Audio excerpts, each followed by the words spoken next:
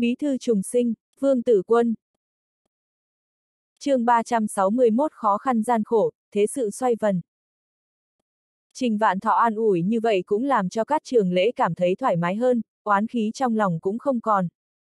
Ngay cả Dương Độ Lục cũng phải muối mặt đến cầu hòa với người ta, mình chỉ là một nhân vật nhỏ thì cho là gì.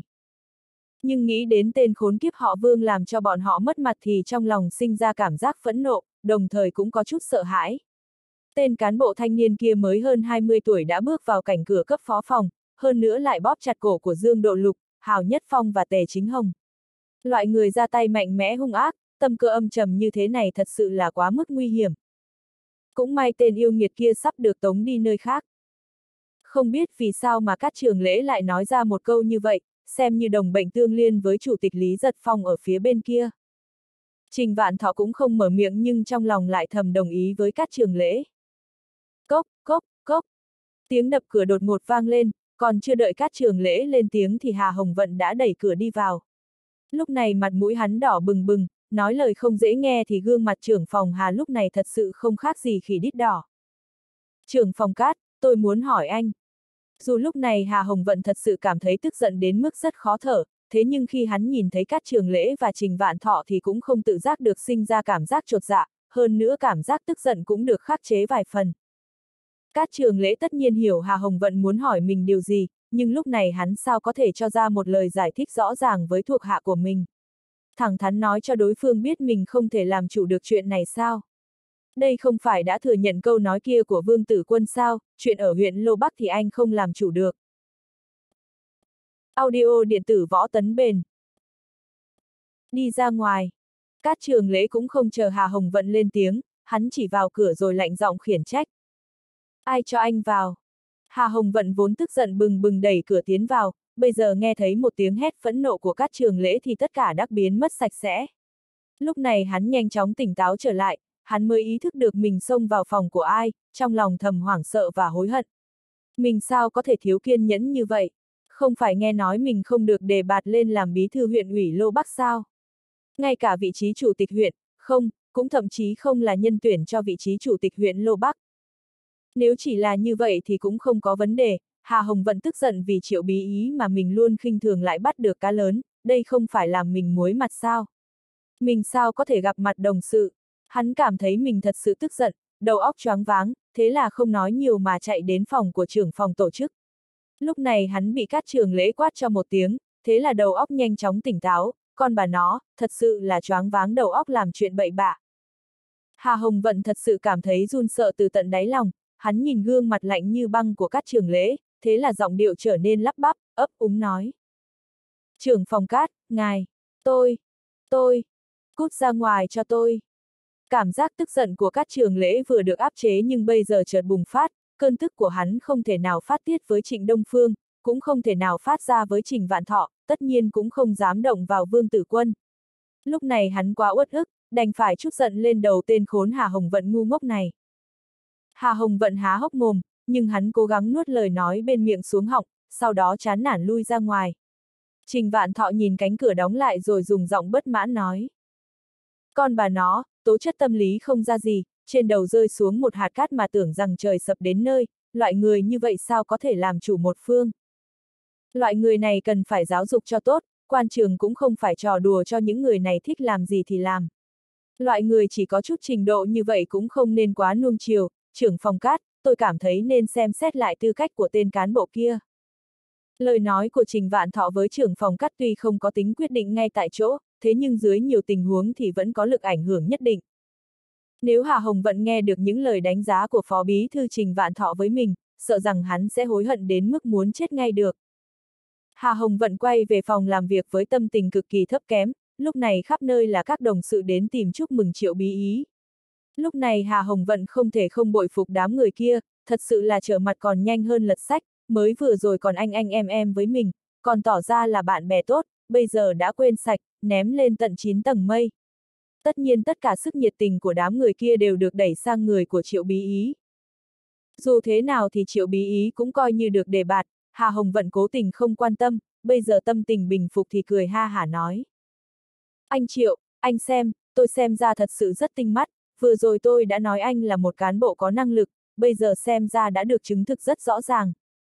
Ánh mắt lãnh đạo sáng như tuyết, chắc chắn sẽ không để người thành thật bị hại, bây giờ không phải kết quả đã ứng với lời nói của tôi sao?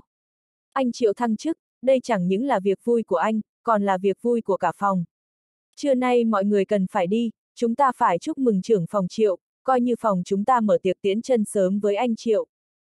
Triệu bí ý nhìn một Hà Hồng Vận với thái độ trước sau xoay chuyển 180 độ mà trong lòng sinh ra ý nghĩ hèn mọn, hắn nghe nói Hà Hồng Vận không được đề cử làm bí thư huyện ủy Lô Bắc, thế nhưng tin tức sau đó lại càng làm hắn giật mình kinh ngạc không thôi. Khi nghe đồng nghiệp nói mình được bổ nhiệm làm trưởng phòng tổ chức huyện Lô Bắc, hắn cảm thấy đầu óc choáng váng, hắn căn bản cảm thấy không thể tin được. Nhưng sau đó Trương Đức Long gọi điện thoại đến, điều này mới thật sự xem như xác nhận những tin tức hắn nghe được. Lúc này Triệu Bí Ý tuy đang nói chuyện với các đồng sự đến chúc mừng nhưng tâm tư lại chuyển lên người của Vương Tử Quân, hắn nhớ đến lời nói không chút kiêng nể của Vương Tử Quân khi đối diện với các trường lễ, chuyện của huyện Lô Bắc, anh không có quyền quyết định.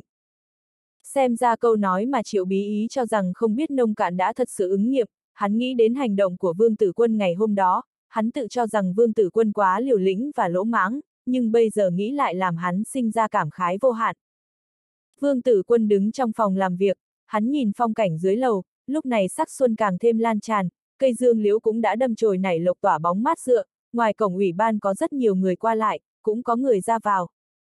Trong nhóm người đi vào ủy ban thì Vương Tử Quân ngẫu nhiên cũng thấy được một hai bóng người quen thuộc.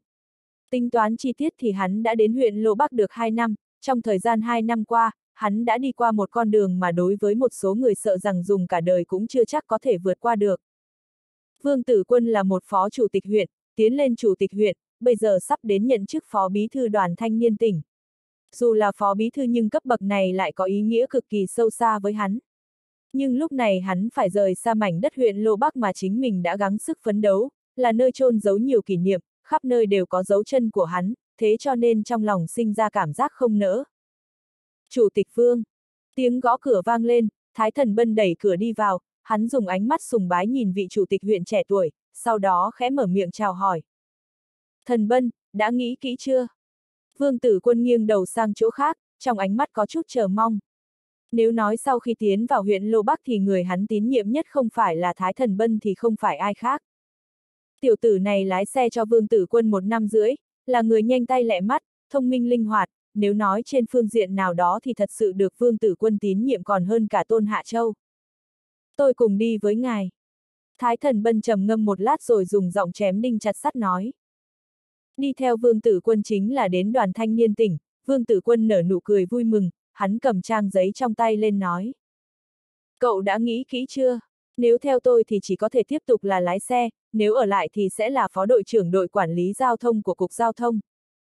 Vào thời đại này thì vị trí quản lý giao thông cực kỳ thu hút, tất nhiên phó đội trưởng sẽ càng có mặt mũi, thích lợi ích thì sẽ có lợi ích, đó là vị trí thích hợp nhất mà Vương Tử Quân có thể tìm ra cho Thái Thần Bân.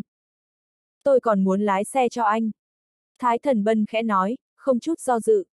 Cậu đã quyết định như vậy thì đi theo tôi.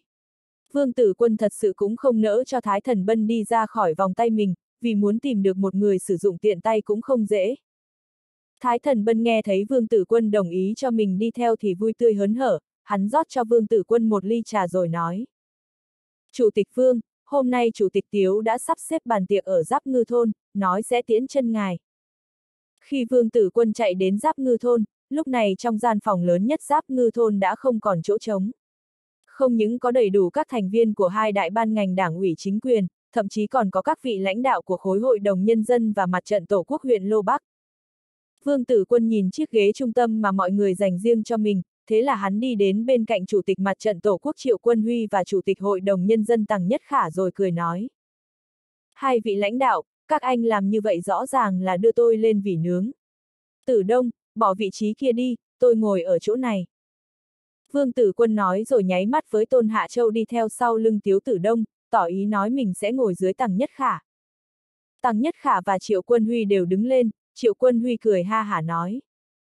Chủ tịch Vương, lần này là tiệc chúc mừng anh bay xa vạn dặm, nếu anh không ngồi thì chúng tôi cũng không dám tham gia. Tăng Nhất Khả cũng cực lực khuyên nhủ. Anh Triệu nói đúng, Chủ tịch Vương, vị trí này là dành cho anh, anh mau ngồi xuống.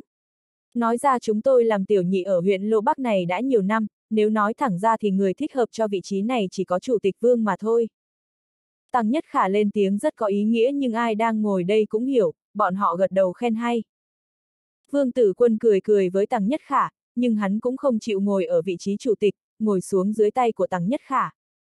Vì nhiều người nên phân ra ba bàn, bàn của Vương Tử Quân chủ yếu là Tăng Nhất Khả, Triệu Quân Huy, Tiếu Tử Đông và vài vị thường ủy huyện ủy, các vị phó chủ tịch và phó chủ nhiệm thì ngồi ở bàn bên cạnh. Khi Vương Tử Quân ngồi xuống thì nhân viên phục vụ đã sớm chuẩn bị sẵn đã nhanh chóng dâng thức ăn lên như những cánh bướm dập dờn qua lại, lúc này lưu mập của quán giáp ngư thôn cũng đi đến xem xét, chỉ sợ phát sinh sai lầm. Hôm anh nay là tiệc tiễn chân chủ tịch Vương, nếu phát sinh ra sai lầm, sợ rằng giáp ngư thôn cũng khó gánh nổi. Lưu Mập là người sáng suốt, hắn biết rõ chủ tịch Vương tuy đã đi nhưng lực ảnh hưởng ở huyện Lô Bắc vẫn là thăm căn cố đế. Chưa nói đến những thứ khác, Thiếu Tử Đông là chủ tịch huyện, người này không phải là thủ hạ đáng tin của chủ tịch Vương sao? Chủ tịch Vương, không, phải gọi là bí thư Vương, ly rượu thứ nhất này chúng tôi chúc ngài bay xa vạn dặm, dương cánh lên tận trời cao. Tăng Nhất Khả kích động nâng ly rượu lên rồi dùng giọng chân thành nói với Vương Tử Quân. Khi Vương Tử Quân đứng lên thì những người ở hai bàn khác cũng đều đứng cả lên, cả đám nâng ly rượu hướng về phía Vương Tử Quân. Vương Tử Quân không thể không uống ly rượu mời này, hắn rót ly rượu cay nồng vào trong bụng, chỉ cảm thấy cổ họng nóng rát, một loại khí thế hào hùng chợt bùng lên. Hắn thật sự sinh ra cảm giác không nỡ rời xa huyện Lô Bắc. Trong tiếng chúc phúc của mọi người, Vương Tử Quân cùng mọi người uống ba ly rượu, lúc này hắn không những không có dấu hiệu say mà đầu óc cũng dần trở nên linh hoạt. Lúc này từng hình ảnh từ khi hắn đi tới huyện Lô Bắc và đến bây giờ phải ra đi cứ liên tục hiện lên trong lòng giống như một đoạn phim đang được chiếu lại. Chủ tịch Vương, tôi mời ngài một ly. Tôn Quốc Lương nâng ly rượu lên, giọng điệu bình tĩnh và mang theo vài phần cảm khái. Hắn trước nay luôn là người đối địch với Vương Tử Quân, hắn cũng thật sự không muốn Vương Tử Quân rời đi vào lúc này. Vị trí của hắn vẫn là phó bí thư huyện ủy, nhưng khi huyện Lô Bắc được nâng cấp thì cấp bậc của hắn được tăng lên cũng chỉ là chuyện sớm muộn mà thôi.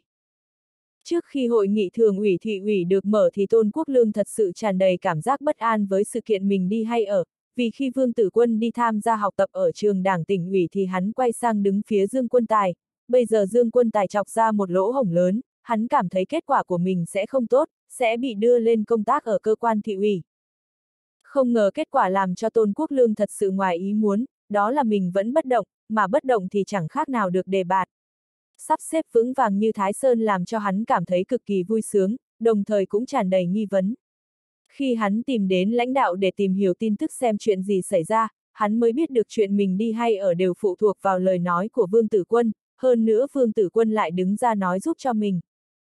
Tôn Quốc Lương dù không tham gia hội nghị thường ủy thế nhưng cũng cảm ứng được mạch nước ngầm bên trong là thế nào. Hắn hiểu rõ tâm ý của người làm quan, những người cầm quyền trên tay đều có biểu hiện rất nghiêm, có hảo cảm bình thường với cán bộ nào đó sẽ không biểu hiện ra ngoài, nhưng nếu nói ra ngoài thì phải thật sự có hảo cảm, nhưng lời nói như vậy dù bỏ ra bao nhiêu tiền cũng không thể mua được. Dựa vào những gì Tôn Quốc Lương đã gây ra cho Vương Tử Quân, chắc chắn Vương Tử Quân sẽ vứt bỏ mình mà không cần quan tâm, sau đó sẽ đổi lại là người của mình. Nhưng Vương Tử Quân không làm như vậy, điều này làm cho Tôn Quốc Lương thật sự thổn thức, đồng thời trong lòng cũng sinh ra cảm giác khác lạ với Vương Tử Quân. chương 362 chân thành đến vĩnh viễn. Vương Tử Quân nhìn bàn tay có chút run rẩy của Tôn Quốc Lương, hắn trịnh trọng nâng ly lên cùng với đối phương, sau đó dùng giọng chân thành nói. Anh Tôn, chúng ta không đánh không quen, sau này nếu về tỉnh thì cứ đến tìm gặp tôi, hai chúng ta là bạn tốt. Hai chữ bạn tốt được Vương Tử Quân nói ra khỏi miệng làm cho Tôn Quốc Lương cảm thấy nóng lòng lên. Tôn Quốc Lương vốn rất cảm khái, bây giờ trong lòng giống như xuất hiện một dòng nước ấm. Hắn nhìn Vương Tử Quân nâng ly rượu lên, thế là ngửa cổ uống cạn ly rượu của mình. Bí thư Vương, thế này đi, tôi uống ba ly, anh cứ tùy ý, coi như tôi kính chúc anh thăng quan phát tài. Tôn Quốc Lương hạ ly rượu xuống rồi dùng giọng hào sảng nói. Nếu so với vẻ xúc động của Tôn Quốc Lương thì tả Minh Phương lại bình tĩnh hơn rất nhiều. Hắn và Vương Tử Quân đều là người rời khỏi huyện Lô Bắc, nhưng vị trí của hắn lại là rất tốt, là phó bí thư ủy ban kỷ luật thị ủy. Tuy vị trí này kém hơn bí thư huyện ủy Lô Bắc, thế nhưng như vậy cũng là tiến thêm một bước, nếu như làm tốt công tác thì phó bí thư ủy ban kỷ luật thị ủy tiến lên cấp phó phòng cũng không phải không có khả năng. Một vị trí chạm tay có thể phỏng rơi xuống đầu tả Minh Phương, hắn cũng không khờ dại cho rằng mình được đề bạt cũng vì nguyên nhân có năng lực và an tâm công tác. Hắn là người công tác lâu năm ở huyện Lô Bắc, hắn cũng biết là ai giúp mình tiến lên một bước vào lúc này. Tả Minh Phương chậm rãi nâng ly lên trịnh trọng mời Vương Tử Quân. Nếu so sánh với Tôn Quốc Lương, Tả Minh Phương thì thiếu tử Đông Vập Lý Cẩm Hồ lại có vẻ đặc biệt bình thường, bọn họ có mối quan hệ quá thân thiết với Vương Tử Quân, bọn họ cũng không cần phải cố gắng tỏ vẻ, tất cả đều không bằng không nói lời nào. Khi từng ly rượu được đám người nơi đây rót vào bụng thì bầu không khí trong phòng càng thêm sống động, mọi người cùng chúc và uống rượu với Vương Tử Quân, đồng thời cũng bắt đầu khiêu chiến lẫn nhau. Tả Minh Phương cũng là người rời khỏi huyện Lô Bắc giống như Vương Tử Quân, bây giờ trở thành đối tượng bị người ta vây công. Uống rượu với Vương Tử Quân thì dù là phó chủ nhiệm hay phó chủ tịch đều phải thận trọng, nhưng khi mời rượu Tả Minh Phương thì cả đám đều thoải mái hơn rất nhiều. Lúc này Tả Minh Phương hầu như biến thành một người tiếp nhận lời mời của mọi người, giống như đang uống rượu giải ân oán vậy. Bầu không khí trên bàn rượu càng tăng vọt, lúc này Vương Tử Quân lại bị Tăng Nhất Khả kéo sang một bên.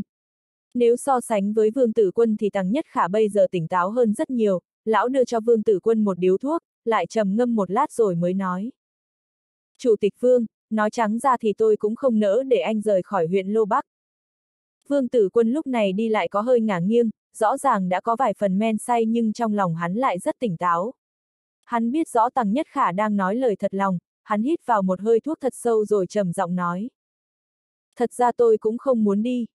Chủ tịch Vương, không biết anh có tin không, từ lúc ban đầu cậu đến huyện Lô Bắc, tôi đã cảm thấy cậu không tầm thường, thế cho nên ao nhỏ này cũng không thể chứa được cá lớn như cậu. Khóe miệng tăng nhất khả lộ ra nụ cười thản nhiên, lão khẽ nói với Vương Tử Quân. Vương Tử Quân bị lời nói của Chủ tịch Tăng Nhất Khả mà thầm kinh hoàng, đối phương sẽ không biết mình là người trọng sinh đấy chứ. Nhưng ý nghĩ này vừa xuất hiện trong lòng thì đã nhanh chóng bị hắn bác bỏ. Tôi không nhìn lầm bao giờ, cậu xây dựng đường An Lô, tạo ra khu công nghiệp, tuy nửa năm qua Dương Quân Tài chỉ chú tâm làm loạn nhưng kinh tế và thu nhập đầu người của huyện Lô Bắc vẫn không ngừng tăng tiến, vẫn biểu hiện trạng thái phát triển tốt đẹp. Nếu như không phải có cơ sở tốt đẹp trèo trống, sợ rằng thành phố An Dịch cũng không thoải mái cho huyện Lô Bắc chúng ta tăng lên một cấp. Vương Tử Quân hút thuốc mà không nói lời nào. Khi Tăng Nhất Khả lên tiếng thì những hình ảnh khó quên lại được chiếu trong lòng hắn. Hắn có rất nhiều lời muốn nói, nhưng giống như tất cả chỉ là dư thừa, hắn bắt chặt tay Tăng Nhất Khả, trong mắt lóe lên luồng sáng thân thiết. Chủ tịch Vương, người làm việc tốt cho dân, như vậy nhân dân sẽ không bao giờ quên, vùng đất này sẽ không bao giờ quên. Tuy anh phải rời khỏi huyện Lô Bắc, thế nhưng anh đừng quên nơi đây từng là nhà của mình. Bàn tay của Tăng Nhất Khả có chút run rẩy, lão làm chủ tịch hội đồng nhân dân vài năm, cũng đã qua vài đời cán bộ lãnh đạo, thế nhưng lúc này Tiễn chân Vương Tử Quân lại nói ra những lời từ tận đáy lòng. Hai người cũng không nói gì thêm mà tiếp tục quay về phòng ngồi uống rượu. Vương Tử Quân là người tử lượng không quá cao, tối hôm đó lại uống như kẻ nghiện, ai mời cũng không từ chối, giống như có ý định uống đến chết ngất mới thôi. Dưới sự hộ tống của Tiếu Tử Đông, Vương Tử Quân quay về khu nhà dành cho thường ủy huyện ủy.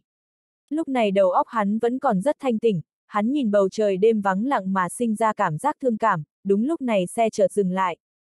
Còn chưa về đến nhà, sao xe lại dừng? Tuy vương tử quân uống hơi nhiều nhưng đầu óc vẫn khá tỉnh táo, khi hắn chuẩn bị quay sang hỏi thiếu tử đông ở bên cạnh, ánh mắt hắn lại nhìn ra ngoài cửa sổ xe theo bản năng. Trên một bãi đất trống, một chiếc xe Việt dã đang lẳng lặng đứng đó, Mạc Tiểu Bắc mặc một thân quân phục màu xanh đứng lặng nơi đó giống như một tinh linh giữa bầu trời đêm, mái tóc dài bị gió thổi khẽ ve vuốt gò má hồng nhuận của nàng. Chủ tịch Vương, chúng tôi đi đây. Tiếu tử đông khẽ gật đầu với Mạc Tiểu Bắc, sau đó đẩy Vương Tử Quân xuống xe không chút nghĩa khí, Thái Thần Bân Cúc nhanh chóng chạy xe về phía khu nhà thường ủy huyện ủy. Vương Tử Quân nhìn về phía Mạc Tiểu Bắc đang đứng giống như một đóa hoa tỏa sắc giữa mùa xuân mà thần kinh căng cứng hoàn toàn sụp đổ. Hắn ngang ngược vươn tay ra kéo lấy người phụ nữ xinh đẹp đứng giữa bầu trời đêm vào trong lòng mình. Mạc Tiểu Bắc dùng ánh mắt căng thẳng nhìn khắp chung quanh, nàng muốn tránh khỏi cái ôm của Vương Tử Quân, thế nhưng cũng không làm gì được vì hắn dùng sức khá mạnh. Khi đi về nhà, Vương Tử Quân không mở miệng mà Mạc Tiểu Bắc cũng không nói gì, nhưng trong lòng hai người lại giống như có một sợi dây tình cảm nối liền với nhau. Vương Tử Quân càng thêm say mê, một cảm giác say bùng lên trong lòng, hắn lỗ mãng cởi quần áo của Mạc Tiểu Bắc, chỉ một lát sau hai người đã tan thành một thể. Vương Tử Quân ngủ một giấc rất say, hắn cảm thấy tất cả những xúc động mình áp chế trong thời gian qua đã được phát tiết, thật sự rất thoải mái, rất phóng túng, rất tuyệt vời. Vương tử quân mở mắt, hắn cảm thấy trời đã sáng, thật sự không thể không đi. Hắn nhìn không gian sống quen thuộc của mình trong thời gian qua mà thầm cảm khái vô hạn, hắn khẽ lật người theo thói quen, đúng lúc cảm thấy có thứ gì đó đỉ lên cánh tay của mình. Chuyện gì xảy ra? Vương tử quân nghiêng đầu nhìn, hắn thấy Mạc Tiểu Bắc với mái tóc dài đang gối đầu lên tay mình, nàng ngủ co rút ở đó giống như một chú mèo dịu dàng ngoan ngoãn. Thì ra mình không phải đang nằm mơ. Vương tử quân chợt nhớ đến hình ảnh mông lung trong trí nhớ vào tối hôm qua, sau đó lại nhìn xuống người Mạc Tiểu Bắc. Lúc này Mạc Tiểu Bắc tuy vẫn ngủ rất say, rất ngọt ngào, thế nhưng hai mắt đẹp lại giống như mơ hồ có ẩn hiện một vệt nước mắt. Vương tử quân thấy vệt nước mắt mơ hồ của Mạc Tiểu Bắc mà không khỏi ngây người, trong lòng cũng có chút đắc ý. Lúc này hắn mới ý thức được chính mình không phải nằm mơ, rõ ràng tối qua quá dũng mãnh thiện chiến, cầy cấy quá độ làm khổ Mạc Tiểu Bắc. Xem ra hình ảnh hắn thật sự điên cuồng như dã thú và Mạc Tiểu Bắc dịu dàng hầu hạ đều là thật, Vương Tử Quân nhìn Mạc Tiểu Bắc đang ngủ vùi trong lòng mình, hắn thật sự sinh ra cảm giác ấm áp chân thành. Mạc Tiểu Bắc là vợ của hắn, dù đó là chuyện bình thường, nhưng vào đúng thời điểm quan trọng thì người quan tâm hắn nhất cũng chính là nàng. Tần Hồng Cẩm, Y Phong và Trương Lộ Giai là tình nhân của Vương Tử Quân, bọn họ đã từng cho hắn nhiều thỏa mãn và khoái cảm mới mẻ, thế nhưng mối quan hệ giữa bọn họ với nhau cũng chỉ dừng lại ở một mức độ nhất định, sự tồn tại của bọn họ làm cho hắn cảm nhận được chỗ tốt của đàn ông. Đặc biệt là một người đàn ông như hắn, có chút bản lĩnh, có tướng mạo, có chút chức vị, có chút khí chất anh hùng, còn có một cơ thể cường tráng. Hắn cảm thấy đàn ông mà không tìm được thứ gì đó để phát tiết thì thật sự không khác nào chịu tội, rõ ràng là thái độ không chịu trách nhiệm một cách cực đoan với chính mình. Hắn thỏa mãn cho chính bản thân mình, đồng thời cũng thỏa mãn cho những người phụ nữ của mình, nói chung đây chính là đặc điểm làm cho phụ nữ ưa thích đàn ông. Trong đầu lóe lên nhiều ý nghĩ rối loạn, Vương Tử Quân chợt sinh ra cảm giác vui vẻ. Vương Tử Quân khẽ rút tay ra khỏi đầu Mạc Tiểu Bắc, sau đó hắn gión rén xuống giường, đi vào phòng bếp, bắt đầu bận rộn nấu nướng. Không biết có phải vì tối hôm qua quá điên cuồng hay không, đến khi Mạc Tiểu Bắc tỉnh dậy thì đã là giữa trưa, nàng đưa mắt nhìn thấy gian phòng trống rỗng, thế là trong lòng chợt sinh ra cảm giác cấp bách. Những ngày qua Mạc Tiểu Bắc sống ở thủ đô, ngoài những lúc ở bên cạnh ông nội thì phần lớn thời gian là nghe mẹ nói chuyện, cái gì mà vợ phải làm tốt chức trách để cho đàn ông lấp đầy bao tử, tiến có thể lên giường, lùi có thể xuống bếp, nếu không thì đàn ông ở khách sạn không sướng hơn sao. Tối qua Vương Tử Quân uống rượu có vẻ hơi say, bây giờ chính mình ngủ dậy còn muộn hơn hắn, dựa theo logic của mẹ mình thì đây là tình huống căn bản là khó thể tha thứ. Theo lời của mẹ thì có một lần bố mình uống say, bà đã phải bỏ ra thời gian cả đêm chăm sóc, thậm chí không một lần chợp mắt. Mạc Tiểu Bắc thầm cảm thấy hổ thẹn, nàng muốn đứng lên, thế nhưng khi vừa hoạt động hai chân thì một cảm giác bùn rủn truyền đến cơ thể. Nàng nghĩ đến tình huống điên cuồng tối qua, trong lòng chợt lóe lên cảm giác sợ hãi. Tỉnh ngủ rồi sao, thế nào, sao không ngủ thêm một lát nữa? Vương tử quân đẩy cửa đi vào với nụ cười rạng rỡ. Em ngủ quá say. Mạc Tiểu Bắc nhìn Vương tử quân, thật sự nàng rất muốn đứng lên, nhưng khi nằm có chăn mềm quấn quanh, bây giờ đứng lên lại bộc lộ hoàn toàn, tất cả những gì tươi đẹp xuất hiện trước mặt Vương Tử Quân. Tuy đã không biết nhìn bao nhiêu lần thế nhưng Vương Tử Quân nhìn thấy tình cảnh xảy ra trước mắt thì cũng không khỏi cảm thấy nóng lòng, nhưng khi ánh mắt hắn nhìn thấy dấu răng trên ngực của Mạc Tiểu Bắc, hắn thật sự cảm thấy rất xấu hổ. Em ngủ một lát nữa đi, nồi cháo anh nấu phải một lát nữa mới xong. Vương Tử Quân kéo bờ vai thong gầy của Mạc Tiểu Bắc rồi dùng giọng yêu thương nói. Mạc Tiểu Bắc nằm trong vòng tay của Vương Tử Quân mà khẽ nhắm mắt lại, nàng thật sự rất hưởng thụ cảm giác vào lúc này. Thật xin lỗi, tối qua anh quá điên cuồng. Vương Tử Quân ôm cơ thể như hoa như ngọc trong lòng, hắn dùng giọng dịu dàng nói.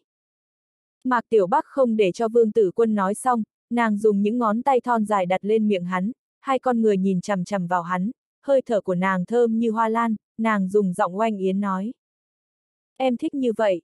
Chỉ là bốn chữ nhưng giống như gió xuân thổi vào mặt, giống như hương rượu nồng nàn làm cho vương tử quân say đắm. Hắn ôm Mạc Tiểu Bắc vào trong lòng, chỉ hy vọng thời gian dừng lại, cứ mãi mãi là như vậy. Vương tử quân ngồi xuống ghế, trên bàn là một nồi cháo, vài trái trứng gà, một dĩa củ cải muối. Đây rõ ràng là một bữa sáng khá phong phú, thật sự đủ chất dinh dưỡng, hơn nữa lại rất ngon miệng.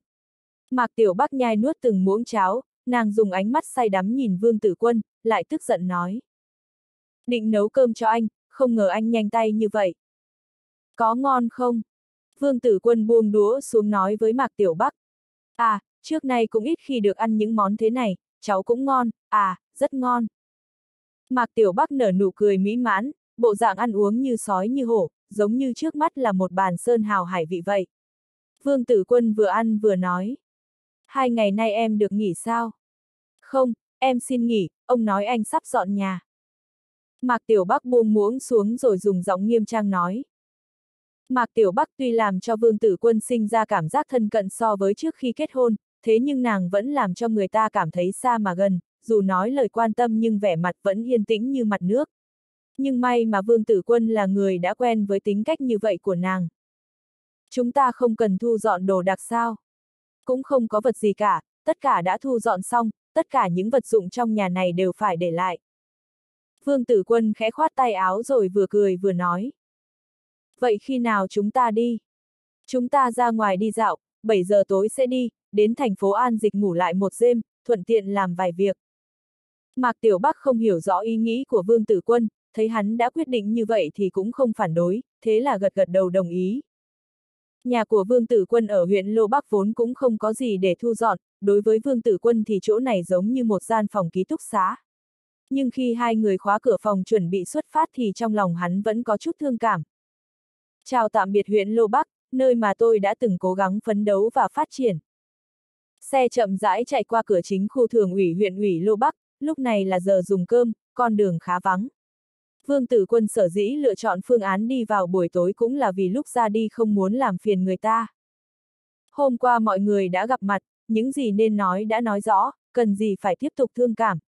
Huyện Lô Bắc là địa phương mà Vương Tử Quân đã phấn đấu hai năm qua, đây không phải chỉ là nơi hắn rèn luyện chính mình, còn là nơi chất chứa nhiều tình cảm. Bây giờ hắn bỏ đi, trong lòng thật sự sinh ra cảm giác lưu luyến khó chịu. Khi xe Mạc Tiểu Bắc chậm rãi chạy qua cửa chính khu nhà thường ủy huyện ủy, khoảnh khắc này đột nhiên vô số đèn xe sáng lên, nó giống như một tín hiệu giữa bầu trời có hơi u tối. Dưới ánh đèn xe đẹp mắt, một loạt bóng người quen thuộc xuất hiện. Tiếu Tử Đông, Tả Minh Phương, Lý Cẩm Hồ. Nhiều hình bóng xuất hiện, mọi người liên tục vẫy vẫy tay, sau đó lại nhanh chóng chui vào trong xe, những chiếc xe vây quanh xe của Mạc Tiểu Bắc như sao sáng quanh trăng, đoàn xe chậm rãi chạy về phương xa. Lúc này Vương Tử Quân chợt cảm thấy một luồng khí nóng bốc lên mắt, hai mắt giống như trở nên mơ hồ. Tất cả đều là thật, mọi thứ đều là thật, những gì mình làm ít nhất cũng đáng giá. Lúc này hắn thật sự nhớ kỹ một câu nói, vô tình chưa hẳn là không chân thật, nhưng phải cố gắng làm sao cho chân thành đến vĩnh viễn. chương 363, một cán bộ thanh niên đến đoàn thanh niên tỉnh. Sớm mai ở thành phố Sơn Viên giống như được bao phủ trong một tầng sương mỏng, tầng sương này che cả ánh sáng mặt trời, làm cho không gian thêm phần đẹp đẽ thơ mộng. Trong thành phố Sơn Viên thì con đường khí phái nhất là đường nhân dân, con đường này chia ra làm ba phần, mỗi đầu đều có thể đi về những khu phố ăn uống giải trí nổi tiếng. Vì sao con đường nhân dân này lại nổi tiếng khắp thành phố Sơn Viên? Vì đây là nơi tập trung của các ban ngành hiểm yếu như tỉnh ủy, khối chính quyền tỉnh, tòa án tỉnh, phòng tài chính tỉnh, cục dân chính. Con đường với hai hàng cây rất đẹp, bên đường là đủ các cơ quan chính quyền. Chưa nói đến vấn đề các cơ quan đơn vị nơi đây đều là quyền cao chức trọng, chỉ cần nhìn vào mức độ xanh hóa của con đường cũng làm cho người ta cảm thấy sảng khoái, khung cảnh đẹp đẽ làm cho tâm tình người ta cực kỳ thoải mái. Lối đi bộ trên đường nhân dân cũng khá rộng, cây cối tươi mát thể hiện ánh mắt chiến lược đặc biệt của người cầm quyền. Cây cối nơi đây một năm bốn mùa đều tươi tốt, thỉnh thoảng có vài loại hoa nở rộ với hương thơm thoang thoảng. Sáng sớm mọi người đi lại trên lối dành cho người đi bộ được lát gạch hồng, ai cũng đi đúng phần đường dành cho mình, thể hiện tố chất khá cao, thế cho nên sống ở thành phố này cũng làm cho người ta cảm thấy vui sướng. Con đường nhân dân này có giao với hai khu phố ăn uống ở bên cạnh, hai con phố bên này thật sự xứng với tên gọi, từ Bắc đến Nam có đầy đủ từ cửa hàng cắt tóc, gội đầu, quán mì, quán cơm, quán rượu. Tất cả san sát vào nhau, bán đầy đủ các món, đầy đủ hương vị làm cho bầu không khí sáng sớm ở thành phố Sơn Viên thêm bừng bừng sức sống. Cuộc sống của dân chúng thành phố Sơn Viên thêm phong phú cũng là nhờ vào hai con phố này. Vương Tử Quân xuống xe ở cổng tỉnh ủy, hắn thấy lúc này nơi đây đã đứng đầy người, thế là hắn không khỏi nhíu mày rồi đi về phía đám người trước mặt. Một nhà máy tốt mà cứ để không như vậy sao? Các anh nói xem chúng tôi sẽ sống thế nào đây? Một tiếng hô lớn vang lên bên tai Vương Tử Quân.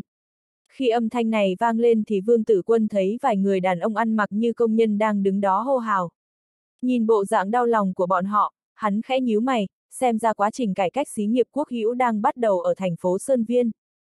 Một nhóm cán bộ đang khuyên can đám người đến đây làm ồn, khuyên bọn họ có chuyện gì thì đến nói với văn phòng, nhưng công nhân lại cho ra yêu cầu muốn gặp lãnh đạo thành phố, thế là hiện trường càng thêm rối loạn.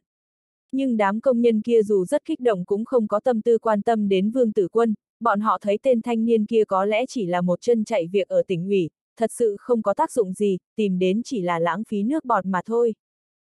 Đám công nhân không quan tâm đến cũng không có nghĩa là Vương Tử Quân sẽ có thể dễ dàng tiến vào khu tỉnh ủy, vừa thấy một gương mặt xa lạ xuất hiện thì một bảo vệ nhanh chóng tiến lên chặn đường, yêu cầu phải đăng ký. Cái gì mà đăng ký? Hình như đã lâu rồi không chấp hành chế độ thế này thì phải. Vương Tử Quân nhìn tên bảo vệ trẻ tuổi dùng ánh mắt như đề phòng kẻ cướp để nhìn mình, hắn chợt cười cười, sau đó sảng khoái đăng ký tên tuổi chức vụ của mình. Vương Tử Quân, công tác ở đoàn thanh niên tỉnh. Tên bảo vệ nhìn những nét chữ cứng cáp có lực, sau đó lại đưa mắt nhìn bóng lưng tên cán bộ thanh niên vừa đi vào, hắn thật sự không nhớ trong đoàn thanh niên tỉnh lại có một người như vậy. Hôm nay Vương Tử Quân đến tỉnh ủy báo danh, sau khi rời khỏi huyện Lô Bắc thì hắn và Mạc Tiểu Bắc đến thành phố Sơn Viên. Bây giờ đến Sơn Viên lại khác biệt so với trước kia, trước đó hắn chỉ là khách qua đường, chỉ đến trường đảng tỉnh ủy tham gia học tập, tất nhiên sẽ để cho trường đảng sắp xếp tất cả. Nhưng bây giờ hắn đến nhận công tác, tất nhiên có nhiều chuyện phải tự mình xử lý. Khi Vương Tử Quân đến thành phố Sơn Viên thì Thái Thần Bân có gọi điện thoại đến, nói rằng sẽ lái xe đến, nhưng Vương Tử Quân trầm ngâm một lát rồi quyết định cho Thái Thần Bân ở lại huyện Lô Bắc thêm hai ngày. Đồng thời hắn cũng vội vàng yêu cầu Thái Thần Bân giao lại chiếc xe công vụ cho khối chính quyền huyện Lô Bắc. Thái Thần Bân tất nhiên sẽ chăm chú chấp hành phân phó của Vương Tử Quân, nhưng hai giờ sau bên kia đã gọi điện thoại đến, nói Chủ tịch Tiếu Tử Đông dù thế nào cũng không chịu tiếp nhận chiếc xe kia. Ý của Tiếu Tử Đông là Thái Thần Bân cứ chạy chiếc xe này phục vụ Vương Tử Quân, đợi đến khi cơ quan đoàn thanh niên tỉnh phân phối xe cho Vương Tử Quân thì hãy trả về cho huyện Lô Bắc cũng không muộn. Vương Tử Quân đối mặt với tình cảm của Tiếu Tử Đông thì cũng chỉ có thể đồng ý mà thôi, nhưng bây giờ hắn đến cơ quan đoàn thanh niên tỉnh tỉnh nhận chức cũng không muốn biểu hiện quá khí thế, hắn muốn an phận, thế là từ chối sự phục vụ của Thái Thần Bân. Tuy đã rời khỏi huyện Lô Bắc, thế nhưng những gì xảy ra ở huyện Lô Bắc vẫn truyền vào trong tai Vương Tử Quân. Ví dụ như Dương Quân Tài phải ảm đạm bỏ đi, ví dụ như lưu truyền pháp vì liên quan đến em trai mà bị bắt đi điều tra, Triệu Trung Trạch cũng bị xử lý xong quy. Ôi, thật sự là ban thủ lĩnh, vì sao lại trùng hợp như vậy? Không thể ngờ khối chính quyền tỉnh rộng thế này mà hai ta có thể gặp nhau được. Khi Vương Tử Quân đang trầm ngâm về những gì đang diễn ra ở huyện Lô Bắc thì một âm thanh vui vẻ vang lên bên tai. Khi âm thanh này vang lên thì Vương Tử Quân thấy gương mặt vui vẻ của Lý Tùng Mai, nàng đang nhanh chóng đi về phía hắn. Lý Tùng Mai tuy bày ra bộ dạng ngẫu nhiên gặp mặt, nhưng Vương Tử Quân đưa mắt quan sát khắp bốn phía, sau đó hắn hiểu thì ra là cô nàng cố ý chờ mình. Tuy hắn đã thấy rõ sự việc thế nhưng cũng không nói trắng ra, thế là nhanh chóng nở nụ cười nói. Thì ra là chị Tùng Mai, thật là trùng hợp, chị cũng đến báo danh sao. Ôi, tôi nào có được nhẹ nhàng thoải mái như ban thủ lĩnh, chị đây thật sự là người mệnh khổ, đã phải đi báo danh vài ngày trước rồi. Lý Tùng Mai tuy mở miệng nói mình mệnh khổ nhưng biểu hiện lại cực kỳ thỏa mãn. Là một vị trưởng ban trong phòng tuyên truyền tỉnh ủy, chức vụ này có thể nói là phát huy mạnh mẽ sở trường của Lý Tùng Mai. Sau khi Lý Tùng Mai ân cần thăm hỏi Vương Tử Quân về các phương diện sinh hoạt ở thành phố Sơn Viên, nàng cười nói. Ban thủ lĩnh, không, không, phải gọi là Bí Thư Vương, hôm nay anh đến báo danh phải không? Vương Tử Quân gật đầu nói. Đúng vậy, đáng lý ra phải vài ngày nữa nhưng phòng tổ chức bên này thúc hơi gấp, cũng không cho phép tôi nghỉ phép nhận lương. Lý Tùng Mai nghe lời nói đầy ẩn giấu của Vương Tử Quân mà mím môi nở nụ cười. Bí thư Vương, anh nói kìa, nếu ngài muốn nghỉ ngơi thì ai có thể ngăn được. Tôi đến khu tỉnh ủy này sớm hơn anh hai ngày, cũng xem như quen thuộc hơn, thế này đi, tôi đưa ngài đến phòng tổ chức nhé. Vương Tử Quân khẽ gật đầu, tuy hắn và lãnh đạo phòng tổ chức tỉnh ủy cũng coi như có chút quan hệ thế nhưng còn chưa biết khu văn phòng của phòng tổ chức ở nơi nào. Bây giờ có người chủ động dẫn đường, tất nhiên hắn sẽ không từ chối. Nhìn vào tình huống thực tế thì Lý Tùng Mai thật sự không nói ngoa, tuy nàng đến đây chưa lâu nhưng lại quen biết không ít người, trên đường đi có rất nhiều người mở miệng chào hỏi nàng. chương 364 báo danh Thật ra Lý Tùng Mai là người rất có tâm kế, lại là một người phụ nữ mạnh mẽ hơn người, nhưng nàng cũng là một người giỏi che giấu lòng hiếu thắng của mình. Kinh nghiệm tham chính nhiều năm làm cho nàng mỗi lần tiến lên một bước đều kết hợp thực tế bản thân và những điều tâm đắc đã tổng kết ra được. Ví dụ như trong vấn đề lôi kéo quan hệ, nàng cảm thấy đó là một chuỗi hạt, những người quen biết hoặc những người nàng tán thành sẽ là một hạt trong chuỗi hạt đó. Nàng sẽ nắm chặt lấy nó, dù là thế nào thì cũng không cho nó bung ra. Nhưng nếu trước đó anh không làm tốt công tác giao tế thì sợ rằng hạt châu sẽ tan chảy ra và biến mất, thế cho nên giai đoạn ban đầu là vô cùng quan trọng, chút kinh nghiệm đó đã đem lại lợi ích không nhỏ cho Lý Tùng Mai, mà lần nào nàng cũng nắm chắc quan hệ, lần nào nàng cũng đúng. Phải nói rằng Lý Tùng Mai đến công tác ở phòng tuyên truyền tỉnh ủy thật sự không tệ, chưa nói đến những thứ gì khác, nàng đã quen mặt và thân thuộc với hầu hết các vị lãnh đạo, điều này làm cho công tác của nàng rất thoải mái, dù sao thì cũng đã thành công được hơn phân nửa rồi. Trưởng phòng Lý, hôm nay sao lại dẫn theo một cậu em đi công tác thế này? Một người phụ nữ ăn mặc không tầm thường vừa nhìn thấy Lý Tùng Mai thì cười lớn nói. Vương tử quân ngẩng đầu nhìn, ánh mắt hắn chợt sáng lên. Người phụ nữ kia đã hơn 40, có lẽ vì chăm sóc kỹ lưỡng nên làn da rất trắng, đây là một làn da trắng không theo kiểu khô khốc mà là trắng dịu, bên trong còn ẩn hồng, giống như muốn bừng sáng vậy. Một làn da đẹp chính là một món vũ khí bất ly thân đối với một người phụ nữ, đó cũng giống như một vật trang sức cực kỳ quý giá của đời người.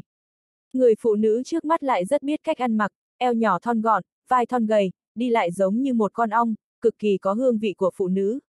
Hơn nữa trên mặt là chiếc mũi thẳng xinh đẹp tuyệt trần, giống như chỉ cần có chiếc mũi đẹp như vậy cũng đủ tô điểm cho cả một gương mặt tuyệt đẹp. Lý Tùng Mai thấy người phụ nữ kia thì khóe miệng chợt cong lên, một nụ cười sáng lạn xuất hiện trên mặt. Ôi, chị Trung, chị thật sự quá đẹp, rõ ràng là một người thích hợp đóng phim, chị ăn mặc bình thường thậm chí còn đẹp hơn cả lúc tô mặc áo cưới ấy chứ. Ôi, nếu tôi có một cậu em thế này thì tốt quá. Để tôi giới thiệu cho chị, đây là lớp trưởng của tôi trong ban huấn luyện trường đảng, hôm nay là ngày anh ấy đến đây báo danh. Chị Trung nghe được lời nịnh hót của Lý Tùng Mai thì vẻ mặt có thêm vài phần hưởng thụ, nàng ừ một tiếng không quá quan tâm, nhưng sau đó nàng nhanh chóng tỉnh táo trở lại rồi dùng giọng kinh ngạc nói. Anh, anh chính là Bí Thư Vương. Lúc này đoàn thanh niên tỉnh có thêm một vị phó bí thư, tất nhiên sẽ có nhiều người biết. Lúc này vẻ mặt chị Trung nhìn về phía vương tử quân có thêm vài phần cung kính, nàng vội vàng vươn tay ra nói. Chào bí thư vương, tôi là Trung Lạc Lạc thuộc đảng ủy phòng tuyên truyền tỉnh. Không ngờ mới đó đã đụng mặt một vị cán bộ thuộc đoàn thanh niên tỉnh, vương tử quân mỉm cười, hắn bắt tay với Trung Lạc Lạc rồi nói. Chào chị Trung, tôi vừa đến đoàn thanh niên tỉnh, kính xin chị chỉ giáo nhiều hơn. Bí thư vương, xem ngài nói kìa, ngài phải chỉ điểm cho tôi nhiều hơn mới đúng. Sau này ngài có chuyện gì cứ nói với tôi một tiếng là được. Trung lạc lạc cười cười với vương tử quân, lúc này ánh mắt nàng khẽ quét qua một phía, đột nhiên có chút gì đó hoảng hốt xuất hiện trên mặt nàng. Bí thư vương, tôi còn có việc, tôi đi trước. Trung lạc lạc vội vàng bắt chuyện một tiếng với vương tử quân, sau đó nàng xoay người nhanh chóng đi về phía một khu nhà màu trắng. Vương tử quân khẽ gật đầu với Trung lạc lạc, ánh mắt không khỏi nhìn về phía vừa rồi Trung lạc lạc đã nhìn qua. Đúng lúc có một chiếc xe Honda chậm rãi chạy đến, chiếc xe này chạy không nhanh, nó khẽ xẹt qua bên cạnh Vương Tử Quân và Lý Tùng Mai. Khoảnh khắc này Vương Tử Quân thông qua cửa sổ xe mà nhìn thấy một người phụ nữ ngồi phía sau xe, nhưng người phụ nữ bên trong có bộ dạng thế nào thì hắn thật sự không nhìn rõ. Lý Tùng Mai đợi chiếc xe chạy qua, trên mặt xuất hiện nụ cười hâm mộ. Nàng chờ chiếc xe dừng lại ở khu nhà màu trắng cách đó không xa thì mới nghiêng đầu nói. Bí thư vương, người vừa rồi chính là lãnh đạo của đoàn thanh niên tỉnh, là Âu Dương Dương. Âu Dương Dương. Vương Tử Quân cũng không xa lạ gì cái tên này. Có câu biết địch biết ta trăm trận trăm thắng, tuy Vương Tử Quân có ý muốn nghỉ ngơi một chút ở đoàn thanh niên tỉnh, thế nhưng hắn vẫn phải tìm hiểu về vị cán bộ mà mình sắp nhập gánh cùng cộng tác là ai. Dựa theo những gì mà Trương Lộ Giai đã nói, sau này nhất định phải chú ý đến Âu Dương Dương. Dù đây là một người phụ nữ thế nhưng tác phong công tác lại vững chắc vượt qua thử thách, người này có biệt hiệu người phụ nữ sát trong khu tỉnh ủy. Bí thư vương của tôi ơi, đến đoàn thanh niên tỉnh thì anh tốt nhất nên an phận một chút, phụ nữ sát kia cũng không dễ trêu vào, nếu anh động vào cô ấy thì sẽ không có quả ngọt để ăn. Đây chính là một câu khuyên bảo trực tiếp của Trương Lộ Giai với Vương Tử Quân vào tối hôm qua. Tuy Mạc Tiểu Bắc đã đi từ hôm trước, thế nhưng Vương Tử Quân vẫn tình nguyện ở lại một mình trong nhà để hưởng thụ khí thức mà Mạc Tiểu Bắc để lại. Khi Lý Tùng Mai lên tiếng với Vương Tử Quân thì chiếc xe Honda ở bên kia đã dừng lại dưới khu nhà màu trắng, một hình bóng phụ nữ từ sau xe bước xuống. Sau khi xuống xe thì người kia nhanh chóng đi vào khu nhà, vì thế Vương Tử Quân chỉ có thể thấy được một hình bóng uốn lượn mà thôi. Chị Tùng Mai, chúng ta cũng nên nhanh chân thôi, nếu không sẽ ảnh hưởng đến công tác của chị. Vương Tử Quân thu hồi ánh mắt rồi mỉm cười nói. Lý Tùng Mai thở dài một hơi, nàng khẽ nói. Đi vào công tác ở cơ quan tỉnh cũng có vài vấn đề cần phải chú ý, trước kia chúng ta ở dưới địa phương thường thích làm gì thì làm, bây giờ đi vào công tác trong cơ quan, chỉ có thể kẹp đuôi làm người mà thôi. Lý Tùng Mai cảm khái nói được một nửa thì chợt khựng lại, trong lúc cảm khái thì nàng chợt ý thức được lời nói của mình có hơi mập mờ. Dù sao thì lúc này cũng có một người đàn ông, nói lời như vậy cũng xem như không suy nghĩ thấu đáo, sẽ có chút hương vị khác thường xuất hiện. Vương Tử Quân tất nhiên cũng thức được những hương vị khác thường trong lời nói của Lý Tùng Mai, nhưng hắn lại hồn nhiên giả vờ như không nghe thấy gì, hắn lên tiếng phụ họa. Cơ quan lớn thường rất quy củ, chúng ta cũng chỉ có thể nhịn một chút mà thôi. Có Lý Tùng Mai dẫn đường thì Vương Tử Quân nhanh chóng đi đến phòng tổ chức tỉnh ủy. Nhưng nàng cũng không đi vào, dù sao thì nàng cũng là người mới đến công tác, nếu đi trễ thì cũng không tốt. Sau khi nói một câu nếu có chuyện gì cứ tìm mình với Vương Tử Quân, nàng vội vàng chạy về phía khu văn phòng của phòng tuyên truyền. Vương Tử Quân là một cán bộ cấp sở, hắn đến báo danh được đưa đi gặp mặt một vị trưởng phòng của phòng tổ chức, nhưng thông báo cũng không nói rõ hắn sẽ gặp vị trưởng phòng nào, thế cho nên hắn đành phải đi vào rồi tìm hiểu sau. Này này này, mong anh tôn trọng thành quả lao động của người khác được không, chỗ đó tôi vừa lau xong, nếu anh bước lên thì không phải là tôi toi công rồi sao? Khi Vương Tử Quân vừa định cất bước vào khu văn phòng thì một tiếng hét lớn vang lên bên tai. Cô gái này không quá cao nhưng cơ thể lại làm cho người ta sinh ra cảm giác giống như Ngọc Bích, có lẽ vì vừa hoạt động mệt nên gương mặt đỏ hồng như trái táo chín. Cũng may Vương Tử Quân đã từng gặp qua nhiều mỹ nữ, bây giờ gặp các tiểu mỹ nữ cũng chỉ xem như ngắm cảnh ven đường, căn bản không dễ dàng động tâm. Vương Tử Quân mỉm cười xin lỗi rồi tranh thủ lui về phía sau hai bước, sau đó đứng lại ngoài cửa. Cô gái kia thấy Vương Tử Quân tranh thủ lui ra cửa thì cũng không nói thêm điều gì, nàng liếc mắt nhìn hắn, sau đó lại lấy rẻ lau sàn nhà. Vương Tử Quân lúc này rảnh rỗi mà sinh ra nhàm chán, hắn đưa mắt nhìn một vài điều lệ văn phòng dán ở bên cạnh. Lúc này trên hành lang có khá nhiều người ra vào, cô gái kia cũng tranh thủ thời gian lau cho xong. Anh có chuyện gì sao? Cô gái kia cầm chiếc áo khoác ở trên giá gỗ mặc lên người, sau đó nàng dùng giọng hiếu kỳ hỏi Vương Tử Quân. Tôi đến báo danh. Vương Tử Quân nhìn cô gái trước mắt rồi khẽ đáp. Báo danh.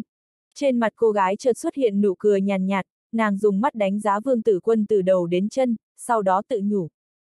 Ủa, mấy ngày nay cũng không nghe nói phòng tổ chức chúng tôi có tuyển thêm tạp vụ, anh có đến lộn chỗ không? Cũng không phải đến chỗ này báo danh, ơn nên đến tìm quản lý của phòng sự vụ cơ quan, đó mới là chỗ anh cần đến báo danh. Giọng điệu của cô gái rất trong trẻo, nàng mới mở miệng thì giống như một cái súng máy, nàng cũng không chờ Vương Tử Quân lên tiếng mà dùng giọng ân cần dạy bảo nói. Để tôi nói cho anh nghe, chỉ cần tôi liếc mắt là đoán được thân phận của anh rồi. Anh là sinh viên vừa tốt nghiệp phải không? Hôm nay anh may mắn mới gặp phải tôi, tôi sẽ chỉ dạy cho anh vài điều nên biết khi gặp mặt lãnh đạo, để đỡ bị mắng. Biết tôi đang làm gì không? Tôi đang quét dọn vệ sinh, bây giờ anh nên làm gì? Anh là một nhân viên mới, điều anh cần làm đầu tiên chính là tranh thủ thời gian cùng tôi dọn dẹp vệ sinh chỗ này, không phải là khoanh tay đứng nhìn giống như một đại gia không có việc gì như vậy.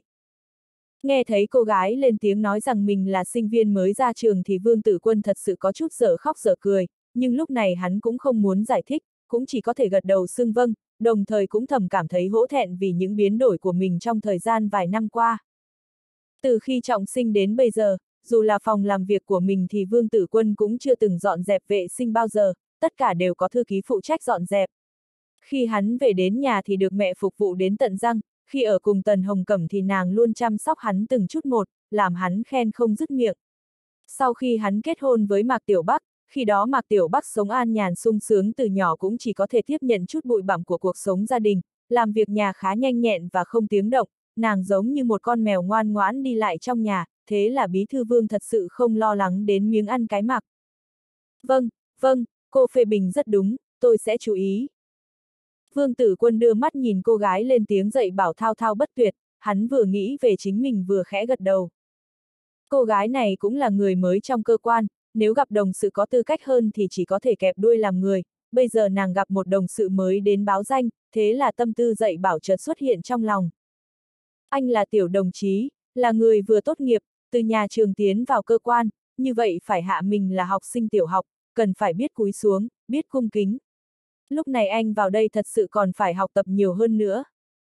Cô gái lúc này vô tình dùng những từ ngữ mà bố mình ở nhà thường dùng để giáo dục cấp dưới để áp dụng với Vương Tử Quân, thật sự rất có phong thái của lãnh đạo. Vương Tử Quân gật đầu nở nụ cười mà không nói lời nào, lúc này hắn thật sự muốn hỏi thăm xem phòng làm việc của lãnh đạo phòng tổ chức ở chỗ nào, thật sự không muốn tiếp tục dây dưa với cô gái này, nhưng còn chưa kịp hỏi thì cô gái kia đã lên tiếng cắt đứt lời của hắn. Anh có biết tùy tiện cắt ngang lời của lãnh đạo là không đúng không? Đây cũng may là anh đụng phải tôi, nếu như là người khác thì anh sẽ bị cho rằng không đúng mực, không lễ phép. Nếu lãnh đạo có ấn tượng không tốt với anh, như vậy anh muốn cầu tiến và phát triển thì khó hơn lên trời. Tiểu băng, cô đang nói chuyện với ai vậy? Một nữ cán bộ hơn 40 từ trong hành lang đi đến, nàng đưa mắt nhìn cô gái dọn vệ sinh rồi dùng giọng sủng ái nói.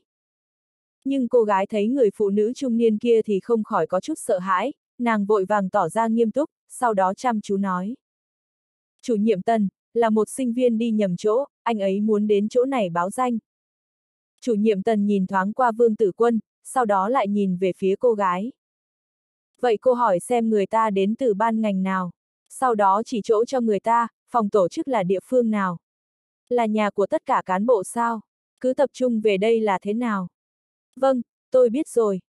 Cô gái sảng khoái đồng ý, sau đó nàng định quay sang hỏi Vương Tử Quân. Nhưng lúc này Vương Tử Quân cũng không muốn mất thời gian ở đây, hắn ném ánh mắt về phía chủ nhiệm Tần rồi dùng giọng khách khí hỏi. Chào chủ nhiệm Tần, tôi là Vương Tử Quân, ngày hôm qua tôi nhận được thông báo hôm nay đến đây báo danh. Vương Tử Quân. Lúc đầu chủ nhiệm Tần còn không quá quan tâm, thế nhưng nhanh chóng ý thức được Vương Tử Quân là ai, thế là trên mặt không khỏi có chút nghi vấn. Anh là Vương Tử Quân. Đúng, tôi là Vương Tử Quân. Vương Tử Quân biết rõ vị chủ nhiệm Tần kia nghi ngờ điều gì, hắn lên tiếng bằng giọng điệu cực kỳ khẳng định. Chủ nhiệm Tần dùng ánh mắt kinh hoàng và nghi hoặc nhìn Vương Tử Quân, lúc này nụ cười trên mặt nàng càng thêm sáng lạn, nàng vươn tay ra nhiệt tình bắt tay Vương Tử Quân rồi nói. Bí thư Vương, tôi biết anh còn trẻ nhưng không ngờ lại quá trẻ thế này, trưởng phòng quách đã chuẩn bị sẵn, chờ ngài đến thì đến phòng làm việc của anh ấy nói chuyện. Vương Tử Quân tự nhiên bắt tay với chủ nhiệm Tần, sau đó đi theo chủ nhiệm Tần về phía bên kia hành lang. Cô gái Tiểu Băng lúc này cảm thấy phát lạnh, nàng nghĩ đến ba chữ Vương Tử Quân, thế là chợt ý thức được điều gì đó. Chính mình ngày hôm qua còn cùng các đồng sự thảo luận sôi nổi về vương tử quân này, đây là một vị cán bộ cấp sở cực kỳ trẻ tuổi và đáng chú ý, tuyệt đối không ngờ nàng đụng mặt đối phương ở chỗ này, hơn nữa chính mình còn dõng dạc giảng cho người ta một khóa học chính trị. Tiểu băng nghĩ về tình huống mở miệng khoe khoang của mình vào lúc vừa rồi, thế là gương mặt không khỏi đỏ bừng như son. Trưởng phòng Quách tên là Quách Tiên Vi, là một vị phó phòng sắp xếp ở vị trí sau cùng trong phòng tổ chức tỉnh ủy.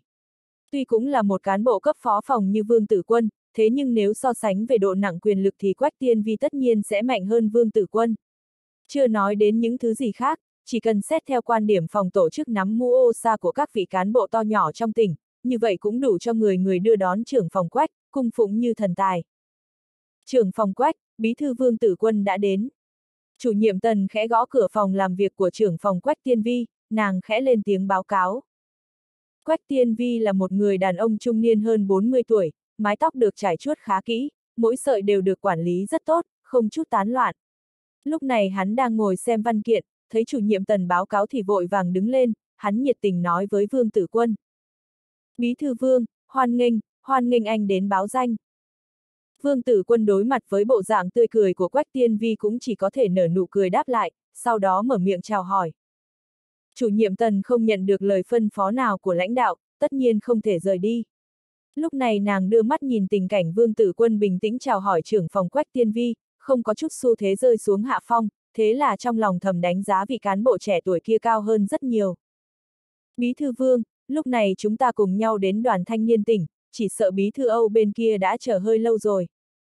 Quách tiên vi cười ha hả cầm lấy cặp ra trên bàn làm việc, sau đó hắn vung tay mời Vương Tử Quân. Văn phòng của đoàn thanh niên tỉnh chính là khu nhà màu trắng ở phía bên kia, vì nó cùng nằm trong khu tỉnh ủy với phòng tổ chức, thế cho nên cũng không cần phải đi xe. Dưới sự dẫn dắt của trưởng phòng Quách Tiên Vi, đám người Vương Tử Quân đi bộ về phía đoàn thanh niên tỉnh. Trên đường đi nhiều người lên tiếng chào hỏi trưởng phòng Quách, tất nhiên trưởng phòng Quách cũng tươi cười đáp lại mọi người, nhưng đám người chào hỏi đó cũng không thèm quan tâm đến Vương Tử Quân đang đi sau lưng của Quách Tiên Vi. Vương Tử Quân dù sao cũng còn quá trẻ, trong mắt đám cán bộ cơ quan thì bọn họ cũng chỉ nghĩ rằng đó là một cán bộ trẻ tuổi của phòng tổ chức đi theo Quách Tiên Vi, thế cho nên không ai quan tâm. Ôi, trưởng phòng Quách, anh đã lâu rồi không đến chỗ tôi uống trà, khi nào có rảnh thì anh nhớ sang đấy nhé. Một người đàn ông trung niên khá mập chui ra khỏi một chiếc xe Santana, cơ thể của người này giống như Phật Di Lặc, khi thấy Quách Tiên Vi thì cười tủm tỉm nói. Quách Tiên Vi giả vờ dùng ánh mắt tức giận nhìn người đàn ông trung niên mập mạp, sau đó cười mắng. Trần Nguyên Hà, anh đúng là mỏ quả đen không nói được lời hay ý đẹp, mời tôi đến ủy ban kỷ luật của các anh uống trà sao. Anh nên tỉnh lại đi là vừa. Anh đấy, tư tưởng quá lạc hậu, thật sự không theo kịp thời đại. Bây giờ xã hội thường truyền nhau câu nói, phòng tổ chức chính là chim khách, ủy ban kỷ luật là quả đen, bây giờ làm lãnh đạo thật sự khá nguy hiểm, anh đến tiếp xúc nhiều với khối ủy ban kỷ luật chúng tôi, như vậy có thể tăng cường năng lực và lý luận, cậu này nói xem có đúng không? Trần Nguyên Hà đưa mắt nhìn Vương Tử Quân đi theo sau lưng Quách Tiên Vi rồi tùy tiện nói. Vương Tử Quân thấy hai người Quách Tiên Vi và Trần Nguyên Hà đàm tiếu như vậy thì cũng ung dung đáp. Tiếp xúc với ủy ban kỷ luật nhiều cũng tốt, đề cao tư tưởng lý luận của chính mình, có thể phòng ngừa các loại rắc rối. Thật sự là tri âm, trưởng phòng Quách, cậu em này nói có hay không? Đúng rồi, anh cũng đừng vì như vậy mà chèn ép cậu cán bộ này đấy nhé. Nếu không thì tôi sẽ đưa cậu ấy sang hỗ trợ ủy ban kỷ luật đấy. Trần Nguyên Hà vừa nói với Quách Tiên Vi vừa cười tủm tỉm với Vương Tử Quân. Cậu em, nếu trưởng phòng Quách dám đâm chọc cậu, như vậy cậu cứ đến tìm tôi, tôi sẽ để bạt cậu. Anh Trần, anh xem, nói nói như vậy không sợ cắn đầu lưỡi sao? Cậu em này anh đừng hòng động vào được chứ đừng nói là để bạt, thậm chí cậu ấy để bạt anh mới đúng. Quách Tiên Vi cười ha hả chỉ vào Vương Tử Quân, sau đó hắn dùng giọng nghiêm trang nói. Vị này chính là Vương Tử Quân sắp đảm nhiệm chức vụ phó bí thư đoàn thanh niên tỉnh. Sau đó Quách Tiên Vi nhìn sang Trần Nguyên Hà rồi nói tiếp. Đây là đồng chí Trần Nguyên Hà, là chủ nhiệm ban số 3 của Ủy ban kỷ luật tỉnh ủy. Trần Nguyên Hà nghe xong lời giới thiệu của Quách Tiên Vi thì gương mặt béo núc chợt ngẩn ngơ. Hắn tự biết cấp bậc của mình và Vương Tử Quân, dù hắn công tác trong ủy ban kỷ luật là ban ngành chạm tay có thể phỏng nhưng nếu so sánh thì cũng kém xa một vương tử quân là phó bí thư đoàn thanh niên tỉnh. Hơn nữa nếu xét theo cấp bậc thì hắn phải xem vị cán bộ trẻ tuổi kia là lãnh đạo của mình. Ha ha, đã sớm nghe nói trong khu văn phòng tỉnh ủy sắp xuất hiện một vị lãnh đạo trẻ tuổi, không ngờ vừa trẻ lại vừa đẹp trai thế này. Chào bí thư vương, đại danh của anh thật sự như sấm bên tai, xin giới thiệu với anh, tôi là Trần Nguyên Hà, công tác trong Ủy ban kỷ luật tỉnh ủy. Trần Nguyên Hà cũng là người có kinh nghiệm thế sự, sau khi nghe xong lời giới thiệu của Quách Tiên Vi thì chỉ xấu hổ trong nháy mắt, sau đó hắn đã nhanh chóng mỉm cười đưa tay ra với Vương Tử Quân. Vương Tử Quân cũng vươn tay bắt chặt tay Trần Nguyên Hà, sau đó cười nói. Tôi là Vương Tử Quân, sau này kính xin chủ nhiệm Trần quan tâm nhiều hơn. Trần Nguyên Hà nhìn nụ cười nhàn nhạt trên mặt Vương Tử Quân, hắn thầm nghĩ, người thanh niên này thật sự có biểu hiện rất cao vời. Trong cơ quan tỉnh ủy thật sự có rất nhiều tin đồn, đặc biệt là về việc sắp xếp cho Vương Tử Quân, hắn cũng từng được nghe lãnh đạo nhắc đến vài lượt. Thật sự không ngờ không gặp thì không sao, gặp mặt rồi thì thật sự xấu hổ. Ví dụ như khi bắt tay chào hỏi, lời giới thiệu của Trần Nguyên Hà thật sự không phóng khoáng, còn giới thiệu cả cơ quan là ủy ban kỷ luật, như vậy có nghĩa gì? Trong tiềm thức cứ muốn dùng ủy ban kỷ luật làm lá cờ ra hổ sao?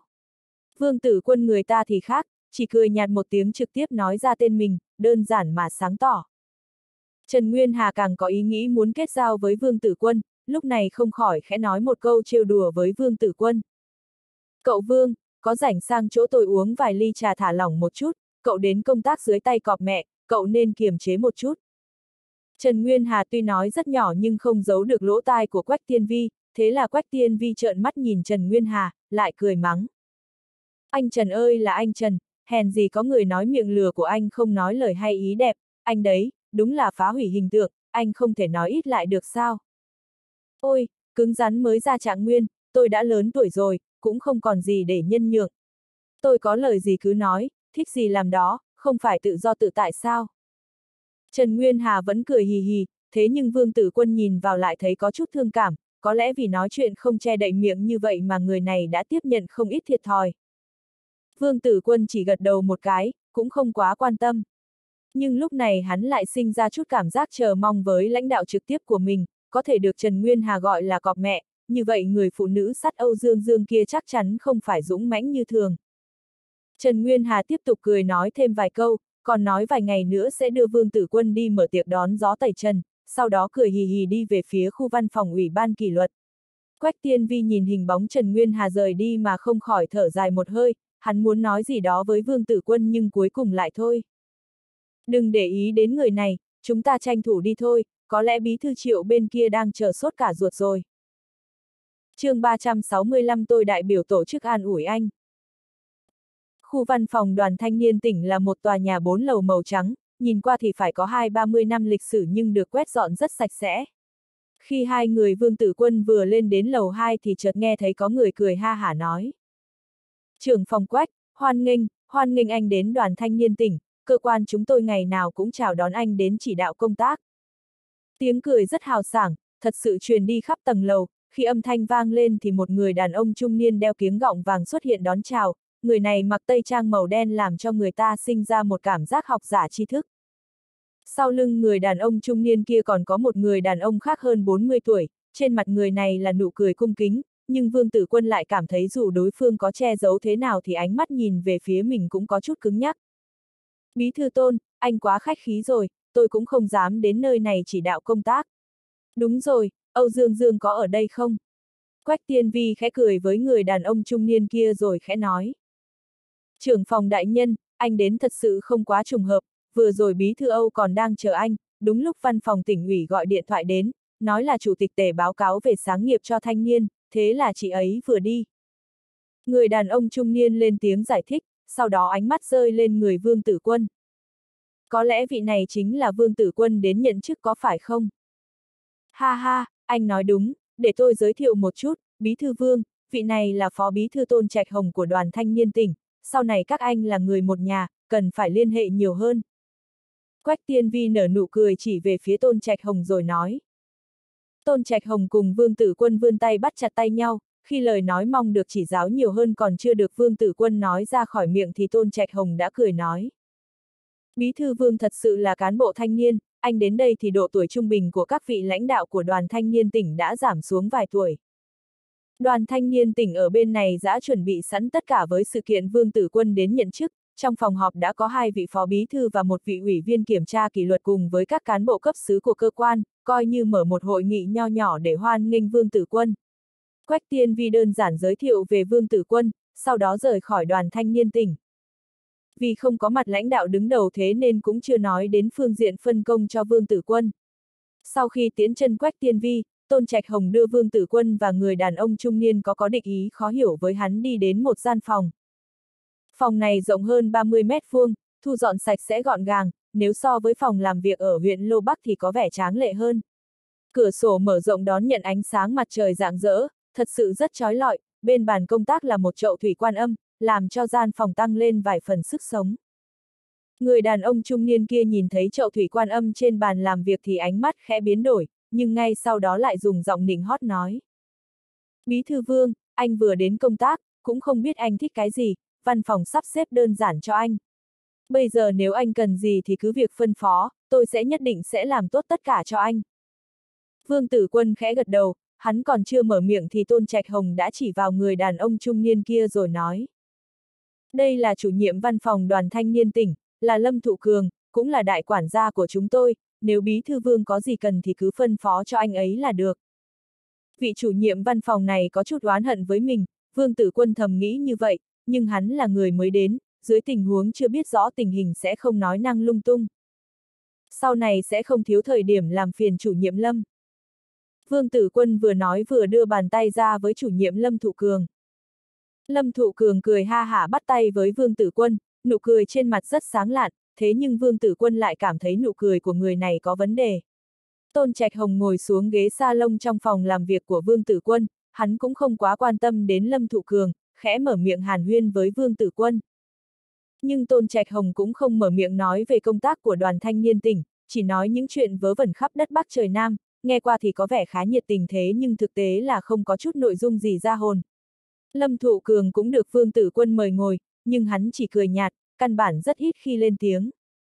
Ba người nói chuyện với nhau suốt một giờ đồng hồ, lúc này Bí thư Âu Dương Dương đến báo cáo công tác với Chủ tịch tỉnh vẫn còn chưa về. Bí thư Vương, anh vừa đến nên có rất nhiều thứ cần phải thu dọn xử lý, tôi cũng không quấy rầy anh, có việc gì anh cứ tìm Thụ Cường và tôi, không cần khách khí. Tôn Trạch Hồng vừa nói vừa đứng lên. Vương Tử Quân cảm tạ sự quan tâm của Tôn Trạch Hồng với mình, sau đó tiễn Tôn Trạch Hồng ra đến tận cửa. Tôn Trạch Hồng đi thì trong phòng làm việc chỉ còn lại hai người Vương Tử Quân và Lâm Thụ Cường, lúc này Lâm Thụ Cường có nói cho Vương Tử Quân về vài chuyện ở đoàn thanh niên tỉnh, sau đó thay đổi chủ đề. Bí thư Vương, lúc này chuyện nhà cửa ở đoàn thanh niên tỉnh có chút căng thẳng, thật sự không thể sắp xếp ngay được, cũng chỉ còn lại một phòng nhỏ ở khu ký túc xá tạp chí thanh niên, anh xem, trước tiên có nên sắp xếp anh chịu khổ một chút được không? Lâm Thụ Cường dù nói rất khách khí nhưng Vương Tử Quân vẫn biết rõ phương diện lựa chọn nhà đã không còn cơ hội cho mình lựa chọn, đây chính là một quyết định rồi, nếu hắn chọn ba lấy bốn cũng không tốt. Vương Tử Quân nhìn vẻ mặt xin lỗi của Lâm Thụ Cường, hắn trầm ngâm khoảnh khắc rồi gật đầu cười, cũng nói lời cảm tạ với Lâm Thụ Cường. Nhưng Lâm Thụ Cường nghiêm trang nói phục vụ lãnh đạo là chức trách của mình, nếu có gì không thỏa đáng chỉ mong lãnh đạo bỏ quá cho. 10 giờ sáng thì Âu Dương Dương ở bên kia gọi điện thoại đến, nói rằng hôm nay sẽ đi theo chủ tịch tề kiểm tra công tác, cũng không quay về.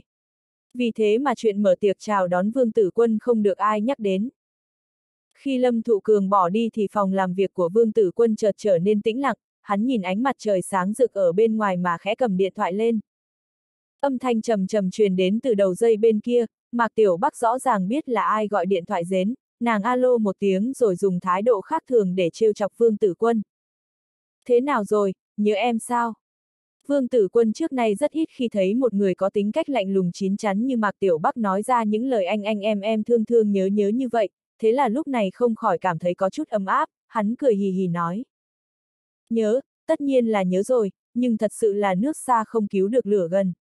Em à, lúc nào bớt thời gian quay về một chuyến, anh đã được sắp xếp phòng, sau này nếu em nhớ anh đến mức không chịu được, cứ đến khu ký túc xá tạp chí thanh niên tìm anh. Ừ, khi nào có thời gian rảnh em sẽ đến. Mạc Tiểu Bắc thấy Vương Tử Quân mở miệng trêu chọc mình thì đỏ mặt tía tai, thế là chỉ hỏi thêm được một câu đi làm thế nào, cũng không nói gì thêm. Vương Tử Quân dù biết rõ tính cách của Mạc Tiểu Bắc là như vậy thế nhưng vẫn không nhịn được nói.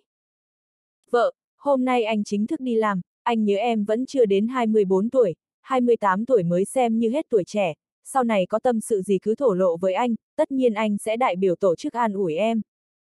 Vương Tử Quân nói cho hết lời rồi không nhịn được mà nở nụ cười, trong lòng thầm nghĩ, dù vợ mình là tảng đá thì cũng phải hâm nóng nó lên chứ. Người ta là đảng viên đấy nhé. Giọng nói trong trẻo có chút tự hào truyền đến từ đầu dây bên kia, rõ ràng Mạc Tiểu Bắc rất đắc ý với đòn phản kích nho nhỏ của mình với Vương Tử Quân.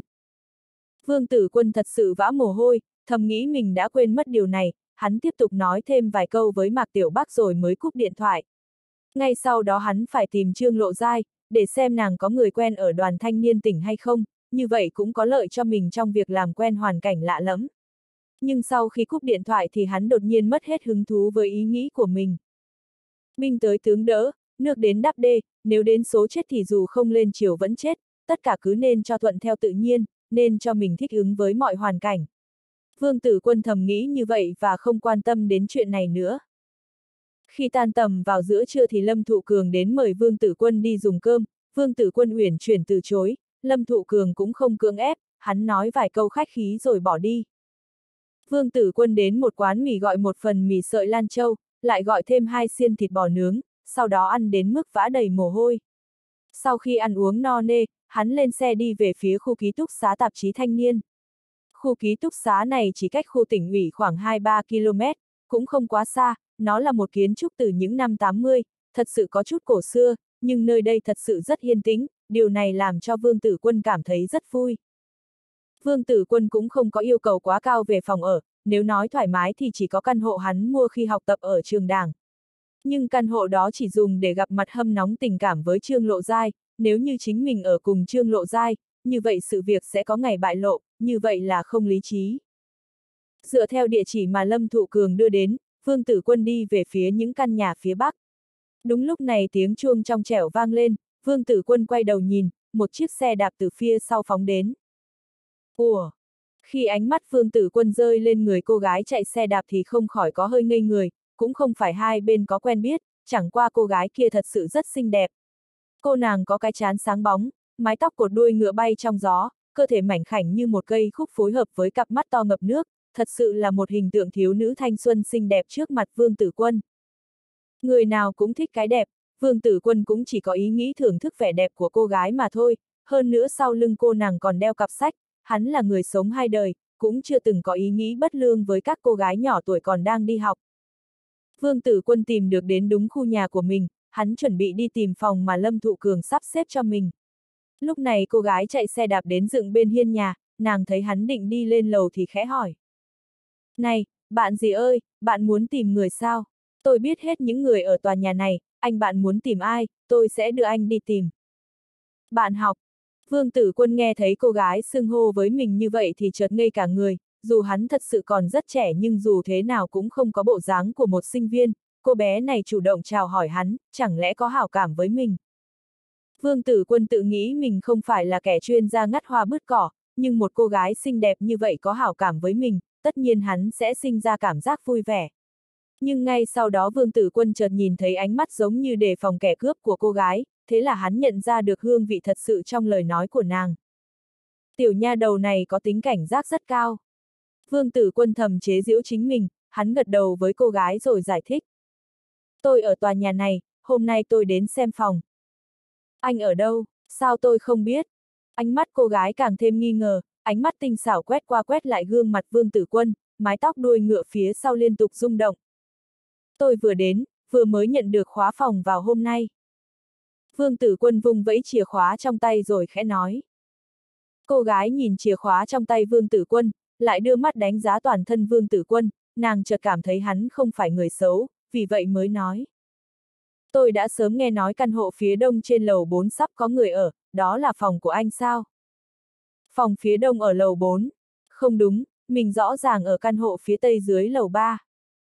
Vương Tử Quân dùng ánh mắt đầy nghi vấn nhìn cô gái, sau đó hắn khẽ nói. Không phải, phòng của tôi là phía tây ở lầu 3, đúng rồi, cô cũng đừng gọi tôi là bạn học, tôi đã tốt nghiệp đại học vài năm rồi. Cô gái nghe thấy Vương Tử Quân nói ở phòng phía tây lầu 3 thì gương mặt trắng như bạch ngọc không khỏi đỏ hồng, sau đó nàng khẽ nói. Mẹ còn đang chờ tôi về dùng cơm. Sau đó cô gái chợt bỏ chạy lên bậc thang giống như một con nai đang cực kỳ sợ hãi.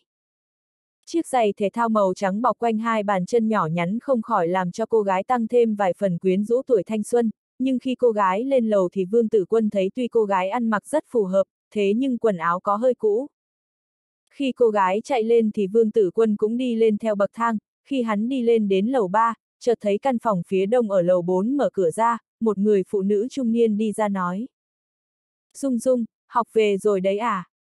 Vương Tử Quân nhìn căn hộ kia mở cửa mà không khỏi bừng tỉnh, thì ra cô gái tên là Dung Dung kia vừa rồi nói căn hộ phía đông ở lầu 4 là lừa mình. Không thể ngờ bộ dạng của hắn thế này lại làm cho một cô gái đề phòng như gặp kẻ cướp, hắn nghĩ đến tình hình vừa rồi, thế là không khỏi nở nụ cười. Hắn cầm chìa khóa thuận tay mở cửa phòng phía tây lầu 3. Đây là một căn hộ hai gian, rộng 7-80 mét vuông, khá rộng rãi. Gian phòng này có lẽ cũng vừa được quét dọn, rất sạch sẽ không chút bụi bẩn, nhưng trong phòng không có bất kỳ gia cụ gì cả, thật sự trống không. Bây giờ cần phải đặt mua chút gia cụ, chỉ là không biết khi nào lại dọn nhà, thế cho nên Vương Tử Quân cũng không muốn mua đồ quá tốt. Vương Tử Quân thuận tay mở cửa sổ, một luồng không khí mới lạ ùa vào, tuy phòng này không ở quá cao nhưng lại nhìn thấy khung cảnh phương xa rất rõ ràng, thế cho nên hắn thật sự cảm thấy rất vui vẻ. Khi Vương Tử Quân chuẩn bị đốt một điếu thuốc, hắn thấy có một đám người đang đi lên khu nhà này, bọn họ nhìn qua có vẻ rất kích động, thậm chí còn có người mở miệng mắng chửi. Nói là công bộc của dân, rõ ràng là cưỡi đầu cưỡi cổ dân mới đúng, hôm nay hứa đến mai, mai lại hứa đến kia, không phải lừa gạt chúng ta sao? Không phải à, bọn họ tiếp tục kéo dài thì nhà máy sẽ coi như xong, như vậy thì chúng ta sống thế nào? Không được, chúng ta phải tìm đến nhà của bọn họ. Nói nhiều làm gì, đám khốn nạn kia rõ ràng là đá nát bát cơm của tôi. Những tiếng nghị luận vang lên ồn ào làm cho vương tử quân đưa mắt nhìn ra ngoài, vài bóng người quen thuộc truyền vào trong mắt. Hôm nay mình đến nhận chức không phải gặp nhóm người này sao? Vì sao bọn họ lại chạy đến đây rồi? Nơi này là ký túc xá của tạp chí thanh niên, bọn họ xuất hiện ở đây, không nói cũng biết đây là công nhân viên của nhà máy gì đó thuộc tạp chí thanh niên, bọn họ đi kêu oan, bây giờ mình được sắp xếp ở đây, có ý gì thế này? chương 366 giúp đỡ hàng xóm. Vương tử quân nghĩ đến nụ cười có chút hưng phấn của Lâm Thụ Cường khi sắp xếp phòng ở cho mình mà đột nhiên hiểu rõ vấn đề, đây là Lâm Thụ Cường lén ngáng chân mình, nếu những người kia biết được thân phận của mình, không phải sẽ đẩy mình lên lò nướng sao? Nếu như mình không chịu nổi mà dọn nhà chạy đi, tất nhiên sẽ tạo nên một trò cười cho cán bộ trong văn phòng tỉnh ủy, xem ra đoàn thanh niên tỉnh cũng không phải một vùng nước yên tĩnh. Lúc này Vương Tử Quân vừa mới đến nhận chức đã có người đào sẵn một cái hố chờ nhảy vào. Vương Tử Quân tự nghĩ mình cũng không phải hạng người thích dàn xếp ổn thỏa, khi đến đoàn thanh niên tỉnh thì hắn xác định cho mình một nguyên tắc, không đòi tiền, không đòi quyền, sống tốt qua ngày, không cầu có công, chỉ cần được thông qua. Hắn chỉ cần vững vàng qua thời gian quá độ là được, hai năm sau hắn sẽ tìm hướng phát triển mới. Vương Tử Quân căn cứ vào những suy xét đó của mình mà sinh ra tâm lý an tâm công tác, chỉ mong nghỉ ngơi lấy lại sức. Nhưng lúc này lại có việc xảy ra, hắn giống như một con nhím sù lông ra ngoài, đồng thời hắn cảm thấy mình nên để lộ ra chút răng nanh, con bà nó hổ không phát huy thì người ta sẽ nghĩ rằng hắn là mèo bệnh. Khi vương tử quân chuẩn bị đóng cửa sổ lại thì chợt nghe thấy một người đàn ông hơn 30 tuổi nói. Các anh có nghe nói gì không, khu nhà của chúng ta rất có thể sẽ tiếp đón một vị phó bí thư đoàn thanh niên tỉnh đến ở, không phải chuyện nhà máy in của chúng ta không được giải quyết sao, chúng ta đi tìm hắn ta nhé. Hi hi, biện pháp này rất tốt, nếu hắn không giải quyết cho chúng ta, như vậy mỗi ngày chúng ta đều quậy phá cho hắn ăn không ngon ngủ không yên. Vương tử quân cũng không còn tâm tư tiếp tục nghe hết câu chuyện của đám người bên ngoài, hắn đóng cửa sổ lại, sau đó bước đi thong thả trong nhà. Tút, tút, tút. Tiếng chuông điện thoại trong trẻo vang lên từ trong cặp, vương tử quân lấy ra xem, là điện thoại của Trương Lộ Giai. Khi vừa nghe máy thì Trương Lộ Giai đã khẽ hỏi. Cậu đã dùng cơm chưa? Đã ăn rồi. Vương tử quân hiểu ý của Trương Lộ Giai, hắn là quan mới đến nhận chức, dưới tình huống bình thường thì ban ngành sẽ tổ chức tiệc đón gió tẩy trần. Thế nào, người phụ nữ sát kia cũng không chuẩn bị tiệc đón gió tẩy trần cho cậu sao? Trương Lộ Giai thật sự lắp bắp kinh hãi, trong giọng nói thật sự rất bất mãn với thái độ của Âu Dương Dương, giống như con nhà mình ra ngoài bị kẻ khác ức hiếp vậy. Vương Tử Quân nghe được những lời hỏi thăm ân cần của Trương Lộ Giai thì cảm thấy tâm tình tốt hơn vài phần, hắn dùng giọng không có vấn đề gì nói. Biết đâu không phải là cố ý, hôm nay bí thư Âu Dương được chủ tịch tề gọi đi, tôi cũng không được gặp mặt chị ấy. Trương Lộ Giai khẽ gật đầu rồi hỏi tiếp. Có phải là tề chính hồng cố ý ép cậu không? Vương Tử Quân cũng không đồng ý với suy đoán của Trương Lộ Giai, hắn thấy tề chính hồng dù không có hứng thú với mình, cũng không tiếc ra tay chèn ép mình, thế nhưng cũng không cần dùng đến những thủ đoạn xấu xa như thế này làm gì. Nếu như dùng loại thủ đoạn này để gõ đầu Vương Tử Quân, như vậy cũng quá tổn hại đến danh dự của một vị thường ủy tỉnh ủy kiêm phó chủ tịch thường vụ tỉnh. Sẽ không đâu. Vương Tử Quân trả lời một câu, sau đó hắn nói tiếp. Chị biết hôm nay bên phía tỉnh ủy có chuyện gì xảy ra không? Tôi vừa đi đến báo danh đã gặp người đến kêu oan.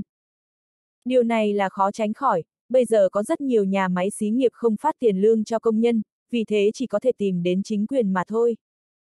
Trương Lộ Giai nói đến đề tài này thì giọng điệu có chút trầm trọng, nhưng sau đó nàng nhanh chóng thay đổi chủ đề, nàng ân cần hỏi thăm hoàn cảnh của Vương Tử Quân. Bây giờ cậu đã xác định chỗ ở chưa? Còn thiếu thứ gì không? Đã được sắp xếp chỗ ở, là một căn hộ hai gian, thật sự khá tốt nhưng không có bất kỳ vật dụng hay gia cụ nào, cần phải mua về mới được. Hơn nữa quan trọng là còn thiếu một nữ chủ nhân lúc lạnh lúc nóng. Vương Tử Quân ở cùng một chỗ với Trương Lộ Giai thì cảm thấy mình đặc biệt thả lỏng, những khao khát trong lòng bị đè nén lập tức trở nên tươi mới, thế cho nên cực kỳ thẳng thắn và sảng khoái. Đầu dây bên kia trầm ngâm một chút, một lúc lâu sau mới vang lên giọng nói oán hận của Trương Lộ Giai. Cậu tạm thời cứ ở lại nơi đấy đi, muốn có nữ chủ nhân thì cứ tìm đại một cô em nào đấy cũng được. Trương Lộ Giai cũng mười phần ghen tuông, lời nói có hương vị chua như giấm, nhưng ngay sau đó nàng cũng chuyển sang chính đề, còn nói sẽ đi tìm mua gia cụ cho Vương Tử Quân, hắn cứ an tâm công tác. Vương Tử Quân cúp điện thoại, hắn thong thả đi lại trong phòng, lúc này cũng không muốn tiếp tục ở lại đây. Hắn mở cửa đi ra ngoài, khi xuống lầu thì cầu thang rất im ắng nhưng trong không khí lại đầy hương vị cơm canh, rõ ràng các hộ gia đình ở đây đều đang dùng cơm. Chiếc xe đạp Phượng Hoàng có hơi cũ vẫn lẳng lặng nằm ở đầu bậc cầu thang, tuy hình thứ của nó có hơi cũ thế nhưng lại rất sạch sẽ.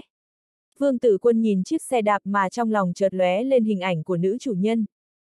Buổi chiều Vương Tử Quân đến phòng làm việc của mình, sau đó có một cô gái hơn 20 tuổi đi đến. Cô gái này có hơi mập, gương mặt hình tròn, hai mắt rất to, đặc biệt là hai cái răng cửa đáng yêu, nhìn qua rất thú vị. Vương Tử Quân thầm có ý nghĩ xấu xa, cô gái này có bộ dạng thật sự giống như một con thỏ mập. Cô gái vừa bước vào cửa thì đã cười với Vương Tử Quân. Chào Bí Thư Vương, tôi là Trung Địch Hồng, Bí Thư Âu Dương mời ngài đến gặp mặt. Bí Thư Âu Dương tất nhiên là Âu Dương Dương, xem ra vị Bí Thư đoàn thanh niên tỉnh đã quay về Vương Tử Quân chợt lóe lên ý nghĩ như vậy, hắn nở nụ cười ôn hòa với Trung Địch Hồng, sau đó lên tiếng đồng ý. Được, tôi biết rồi, Tiểu Trung, cô nói Bí Thư Âu chờ một chút, tôi sẽ qua ngay. Trung Địch Hồng lên tiếng rồi rời khỏi phòng làm việc của Vương Tử Quân. Sau khi Trung Địch Hồng bỏ đi thì Vương Tử Quân cũng không lập tức đi đến phòng làm việc của Bí Thư Âu Dương Dương, hắn đợi qua 3 phút mới chậm rãi đi về phía phòng làm việc của Bí Thư Âu Dương. Vương Tử Quân gõ cửa đi vào phòng làm việc của Bí Thư Âu Dương Dương, lúc này Bí Thư Âu Dương mặc một bộ trang phục công sở màu xanh nhanh chóng đứng lên, đi ra khỏi bàn làm việc. Nàng tỏ ra rất nhiệt tình, gương mặt tươi sáng, nhìn qua thật sự rất tinh tế, thật sự rất giỏi giang, hơn nữa toàn thân lại bùng ra khí chất xinh đẹp lịch sự và cực kỳ tao nhã. Bí thư vương, sáng hôm nay chuẩn bị nghênh đón anh, không ngờ lại có chuyện bất ngờ xảy ra, lại bị chủ tịch tề gọi sang. Xin lỗi anh, anh vào đây, mời anh ngồi. Âu Dương Dương vừa nói vừa đưa tay ra với Vương Tử Quân. Nếu dựa theo độ tuổi được ghi trên hồ sơ thì Âu Dương Dương vừa mới 40, nhưng lúc này nhìn qua thì thấy nàng là một người bảo dưỡng làn da rất tốt, gương mặt lại rất mịn màng, thật sự giống như một người phụ nữ 30 tuổi. Khoảnh khắc khi bàn tay mịn màng tiếp xúc với bàn tay của Vương Tử Quân, hắn chỉ cảm thấy thật sự ấm áp và trơn láng. Vương Tử Quân thật sự cảm tát sự quan tâm của Bí Thư Âu Dương với mình, sau đó hai người ngồi xuống ghế salon. Lúc này thư ký trung địch hồng của Âu Dương Dương cũng nhanh chóng tiến vào rót trà cho Vương Tử Quân, sau đó thức thời lui ra ngoài, thuận tiện khép hờ cửa phòng làm việc của Âu Dương Dương.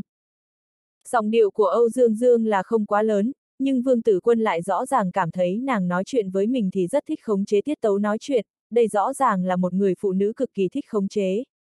Vương Tử Quân vừa cho ra một định luận với Âu Dương Dương, hắn vừa khẽ trả lời những câu hỏi của bí thư Âu Dương. Âu Dương Dương hỏi tình hình ăn ở của Vương Tử Quân ở thành phố Sơn Viên, sau đó đột nhiên thay đổi chủ đề. Bí thư Tử Quân, tôi rơi hai tay đồng ý với sự kiện anh đến đoàn thanh niên tỉnh nhận công tác, cơ quan chúng ta cần những người có kinh nghiệm công tác cơ sở phong phú như anh, vừa trẻ tuổi vừa ổn định, lại có ý nghĩ và có con đường phát triển riêng.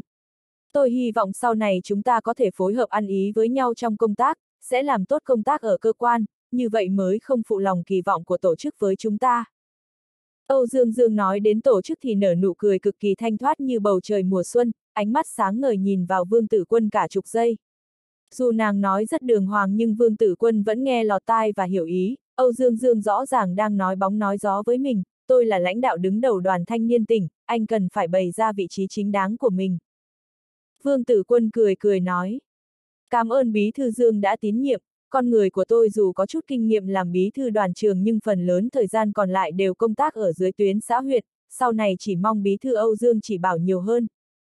Bí thư tử quân, anh quá khách khí rồi, anh đi vào khối đoàn thanh niên tỉnh, như vậy chúng ta là người một nhà, sao có thể tách biệt ra được. Hơn nữa công tác ở đoàn thanh niên tỉnh cũng không khác biệt gì so với tuyến xã huyện, chỉ cần chú ý một chút ở phương diện điều lệ là được. Tôi tin Bí Thư Vương sẽ nhanh chóng tiến vào trạng thái công tác mà thôi. Âu Dương Dương nâng ly trà bằng bạch ngọc lên, sau đó nàng cười ha hả nói với Vương Tử Quân. Âu Dương Dương cười, Vương Tử Quân cũng cười, vô tình hai người đều cười rất vui vẻ giống như mới quen đã thân, đã sớm hiểu biết sâu sắc về nhau. Nhưng cuộc nói chuyện ngắn gọn với Âu Dương Dương cũng làm cho Vương Tử Quân cho ra được nhiều cảm nhận, Âu Dương Dương rõ ràng muốn nói cho hắn biết, công tác trong đoàn thanh niên tỉnh thì cần phải tuân thủ quy củ, không những tuân thủ quy củ của cơ quan, còn phải tuân thủ quy củ của Âu Dương Dương. Hèn gì người ta cho Âu Dương Dương danh hiệu người phụ nữ sắt, xem ra Âu Dương Dương này cũng không đơn giản. Nhưng những loại người thế này cũng không phải Vương Tử Quân chưa từng gặp qua, hắn trước nay còn dám chơi trò cao tay với Dương Độ Lục, bây giờ thấy Âu Dương Dương không phải là đèn cạn dầu, thế nhưng Vương Tử Quân lại không sinh ra cảm giác gặp phải kẻ địch hùng mạnh.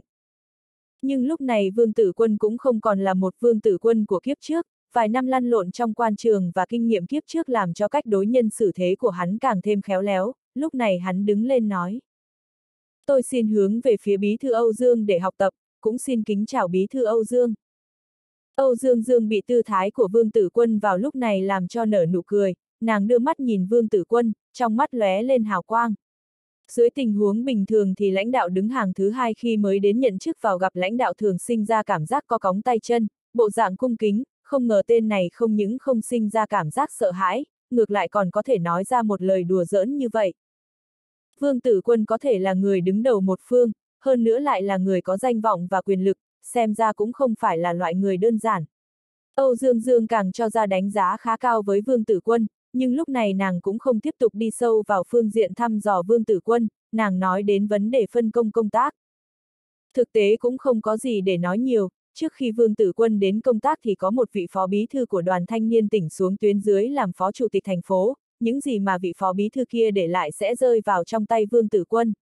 Nói đơn giản thì việc phân công cho Vương Tử Quân ở đoàn thanh niên tỉnh đã cơ bản được xác định, chủ yếu là quản lý các công trình thanh niên, đảng đoàn của các trường, các đoàn thanh niên của địa phương, còn có cả công tác của tạp chí thanh niên.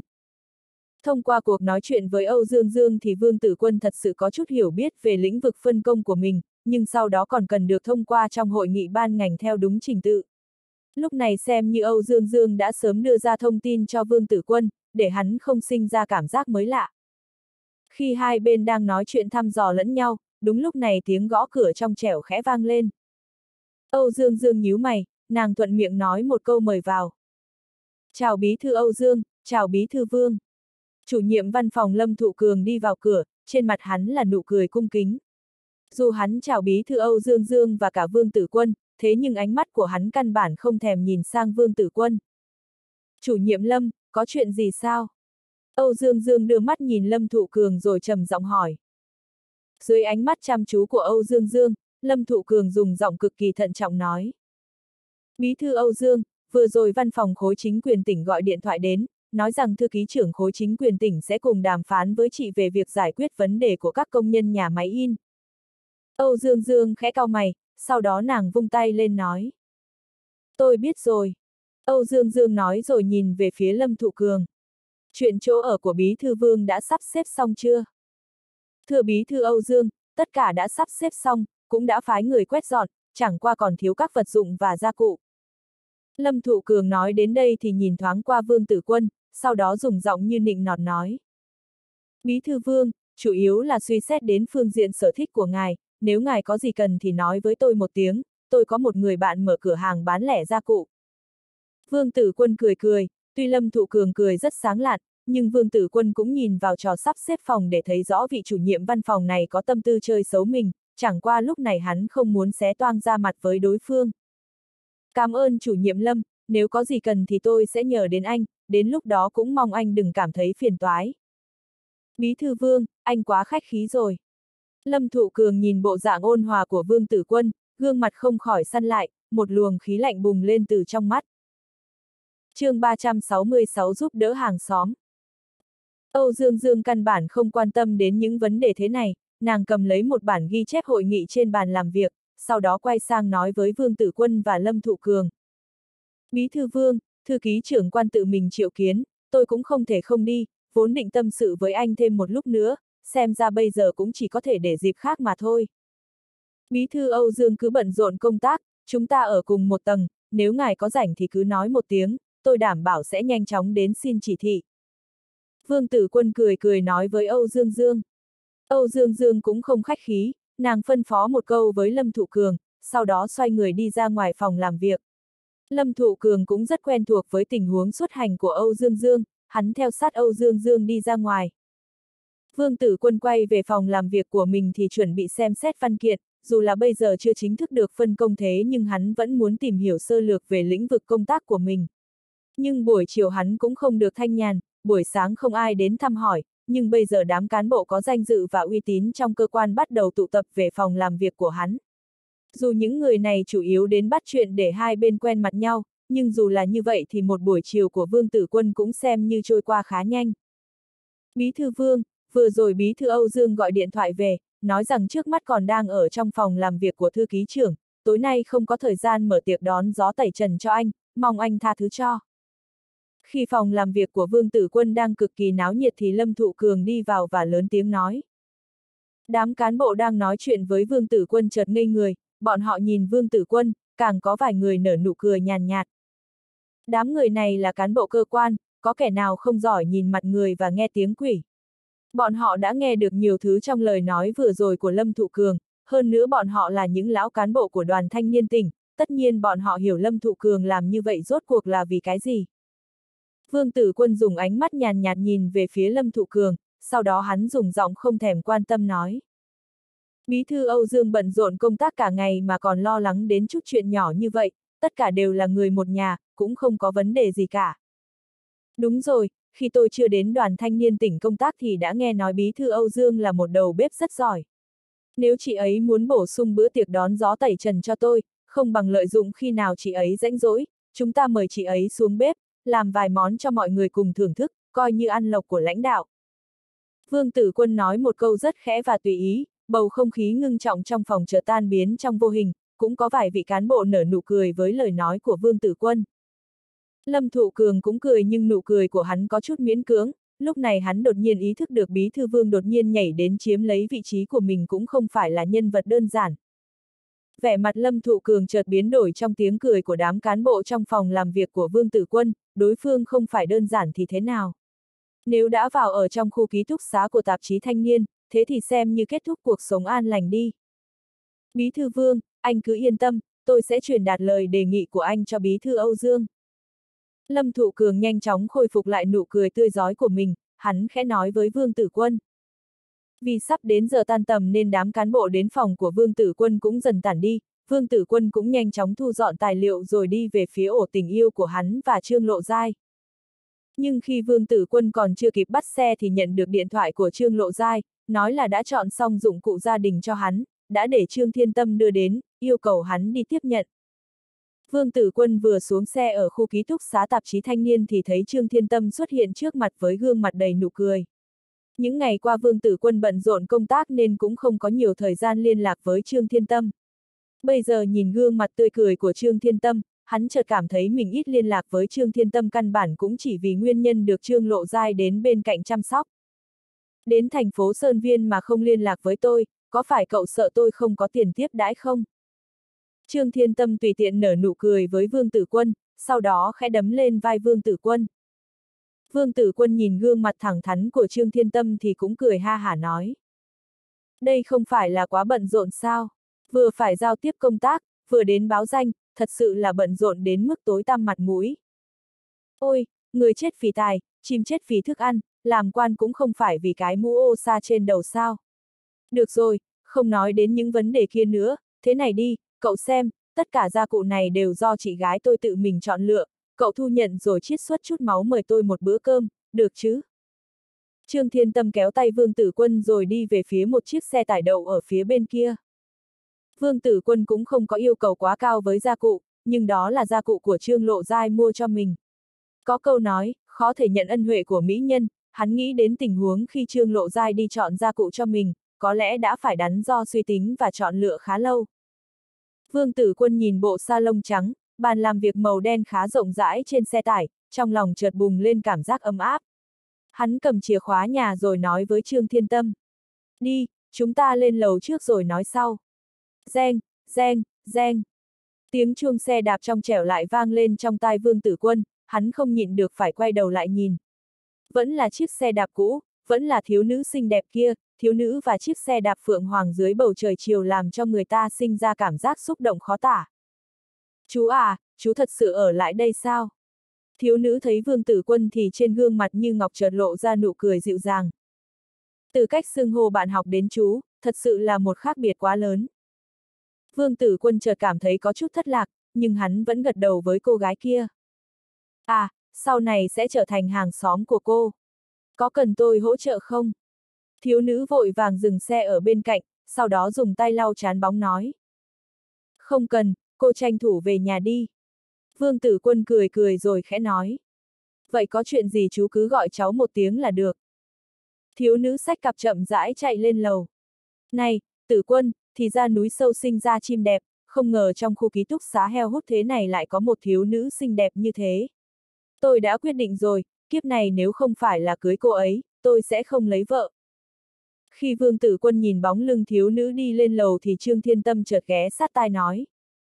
Vương tử quân dùng ánh mắt tức giận nhìn qua Trương Thiên Tâm, sau đó hắn không nhịn được phải dùng giọng cay nghiệt mắng.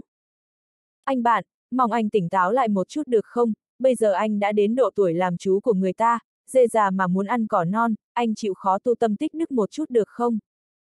Ôi, Bí Thư Vương, tư tưởng của anh quá lạc hậu rồi. Anh chưa từng nghe qua câu nói của chủ tịch tưởng sao? Thời gian đi cùng ta, bạn tình cũng đi theo ta. Chưa nói đến những thứ khác, chỉ riêng quan điểm này cũng đủ để tôi nể phục lão tưởng. Cậu nói xem, nhỏ tuổi thì có vấn đề gì? Nếu một cô gái xinh như hoa như ngọc đặt trước mặt cậu, mà cậu không động tâm, như vậy chẳng phải là tâm lý có vấn đề à? Mỹ nữ giống như một chiếc chìa khóa mở ra vốn tài trí của Trương Thiên Tâm, hắn vừa gióng giạc lên tiếng tẩy não cho Vương Tử Quân vừa dùng giọng sắt son nói. Dạy con từ thuở còn thơ, dạy vợ từ thuở bơ vơ. Chưa về, tôi đã quyết định rồi, sau này cô ấy sẽ là vợ tôi, tôi sẽ dùng tất cả tâm tư của mình để chờ cô ấy tốt nghiệp đại học. Vương Tử Quân nhìn vẻ mặt của Trương Thiên Tâm, hắn cũng không muốn đâm chọc nhưng chỉ lắc đầu. Hắn chuẩn bị lên tiếng cho công nhân khiêng gia cụ lên nhà, đúng lúc này chợt nghe thấy một tiếng kêu sợ hãi vang lên trên lầu. Mẹ, mẹ, mẹ làm sao vậy? Vương tử quân nghe thấy tiếng hô thì vội vàng chạy lên bậc thang, chỉ một lát sau đã chạy lên đến lầu 4. Đúng lúc này hắn thấy thiếu nữ vừa rồi còn tươi cười hớn hở nhưng bây giờ lại đang ôm một người phụ nữ trung niên hơn 40 tuổi với gương mặt cực kỳ tái nhợt rồi hét lên thất thanh. Người phụ nữ kia đã hôn mê nên căn bản không phản ứng trước những lời hô hào của cô gái, Vương Tử Quân nhìn bộ dạng luống cuống tay chân của cô gái, hắn trầm giọng nói. Đừng hấp tấp, trước tiên đặt mẹ cô nằm thẳng ra. Vương Tử Quân vừa nói vừa bắt đầu gọi cấp cứu, đúng lúc này có vài người hàng xóm chạy đến, bọn họ ồn ào an ủi cô thiếu nữ. Dung Dung, không cần sợ, có lẽ mẹ cháu lại là bệnh cũ tái phát. Chúng ta nhanh chóng đưa mẹ cháu xuống lầu, đỡ mất thời gian của xe cứu thương. Thiếu nữ luống cuống tay chân được những người hàng xóm lên tiếng khuyên nhủ, cuối cùng cũng bình tĩnh trở lại, nhưng nước mắt lại chảy tràn xuống má. Hàng xóm đến hỗ trợ phần lớn đều là người già, tuy ai cũng rất nhiệt tình nhưng muốn đưa mẹ Dung Dung xuống dưới lầu cũng không phải dễ dàng. Vương tử quân thấy tình huống xảy ra trước mắt thì tiên lên một bước nói. Thiên tâm, chúng ta cùng đưa chị gái này xuống lầu nhé. Được. Trương Thiên Tâm vừa rồi thật sự có tâm tư muốn theo đuổi cô gái này, bây giờ có cơ hội biểu hiện thì dù thế nào cũng sẽ không chối từ, thế là cùng Vương Tử Quân một trái một phải nâng người phụ nữ trung niên kia lên. Hay là cõng xuống đi, cầu thang có hơi chật, chỉ sợ dìu đi sẽ có va chạm. Một bà lão hơn 60 nhìn Vương Tử Quân và Trương Thiên Tâm rồi khẽ nói. Trương Thiên Tâm nhìn thoáng qua người phụ nữ trung niên với gương mặt không còn chút máu, lại nhìn xuống cầu thang, dũng khí muốn xông lên biểu hiện một phen lập tức biến mất sạch. Để đó cho tôi. Vương Tử Quân biết rõ Trương Thiên Tâm là người đã vứt bỏ tất cả sức lực trên người phụ nữ, thế cho nên hắn cũng không dám chậm trễ, nhanh chóng tiến lên cõng người phụ nữ trung niên xuống lầu. Thật ra người phụ nữ này cũng khá gầy yếu, cũng không quá nặng, dưới sự hộ vệ của đám người chung quanh, Vương Tử Quân đi từ trên lầu xuống dưới đất. Dưới lầu đã có không ít người, phần lớn đều là những hộ gia đình ở đây. Khi thấy người phụ nữ trung niên được cõng xuống và con gái theo sau thì cùng tiến lên khuyên nhủ, nói rằng mẹ của nàng sẽ nhanh chóng tỉnh lại mà thôi. Sao xe cứu thương còn chưa đến? Đúng vậy, đã gọi điện thoại, thế nào còn chưa đến? Vương tử quân lúc này cũng rất gấp, tuy người phụ nữ trung niên được đặt trên một chiếc ghế salon vừa mới đưa ra nhưng cặp mắt vẫn nhắm chặt, rõ ràng đang rơi vào trạng thái hôn mê. Alo, vừa rồi tôi đã gọi cấp cứu, xin hỏi xe cứu thương sắp đến chưa? Vương tử quân cũng bất chấp khách sáo, hắn tiếp tục gọi điện thoại hỏi. Một người nói chờ một chút, một phút sau đối phương gọi điện thoại đến, nói là xe cấp cứu đang bị kẹt xe. Cô gái bên kia vừa bình tĩnh trở lại, bây giờ nghe được tin tức này thì hai mắt lại đẫm lệ. Dùng chiếc xe tải này đi, trước tiên đưa đến bệnh viện rồi nói sau. Vương Tử Quân biết rõ đã không còn kịp nữa, hắn chỉ về phía chiếc xe tải phía sau nói. Vài tên công nhân vận chuyển hàng tuy cũng đi theo xem xét nhưng chuyện dùng xe tải chuyển người bệnh cũng không phải bọn họ có thể quyết định, một tên đứng đầu dùng giọng khó xử nói. Ông chủ, việc dùng xe hàng chở người bệnh, sợ rằng chúng tôi cũng không thể làm chủ được, ngài có lẽ nên hỏi ông chủ của chúng tôi rồi nói sau vậy.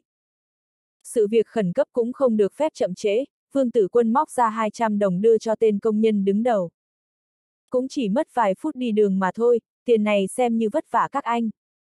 Đám công nhân vận chuyển đưa mắt nhìn nhau, sau đó nói với nhau vài câu. Một ngày tiền công vận chuyển của bọn họ thật sự còn chưa được 200 đồng, bây giờ chỉ cần chạy xe đưa người bệnh đến bệnh viện là có 200 đồng, tất nhiên sẽ là lợi lớn. Tên công nhân đứng đầu nuốt nước bọt rồi dùng giọng hào sảng nói.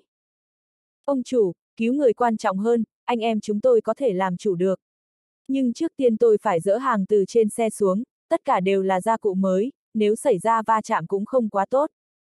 Người này cũng nói lời thật sự, dây thừng cố định gia cụ trên xe cũng đã được mở ra, nếu bây giờ chạy đi đến bệnh viện thì va chạm sẽ là khó tránh được. Vương Tử Quân rất để ý đến những gia cụ mà Trương Lộ Giai tự tay mua cho mình, nhưng mạng người còn quan trọng hơn, hắn cũng không quan tâm nhiều như vậy, thế là dùng giọng không chút do dự phân phó. Không cần quan tâm nhiều thứ như vậy, gia cụ có vấn đề gì thì tôi cũng không trách các anh, cứu người trước rồi nói sau. Vương tử quân ba chân bốn cẳng đưa người phụ nữ trung niên lên xe, vì không gian trong xe có hạn nên vương tử quân, Trương Thiên Tâm và vài người hàng xóm nhiệt tình cùng lên phía sau xe.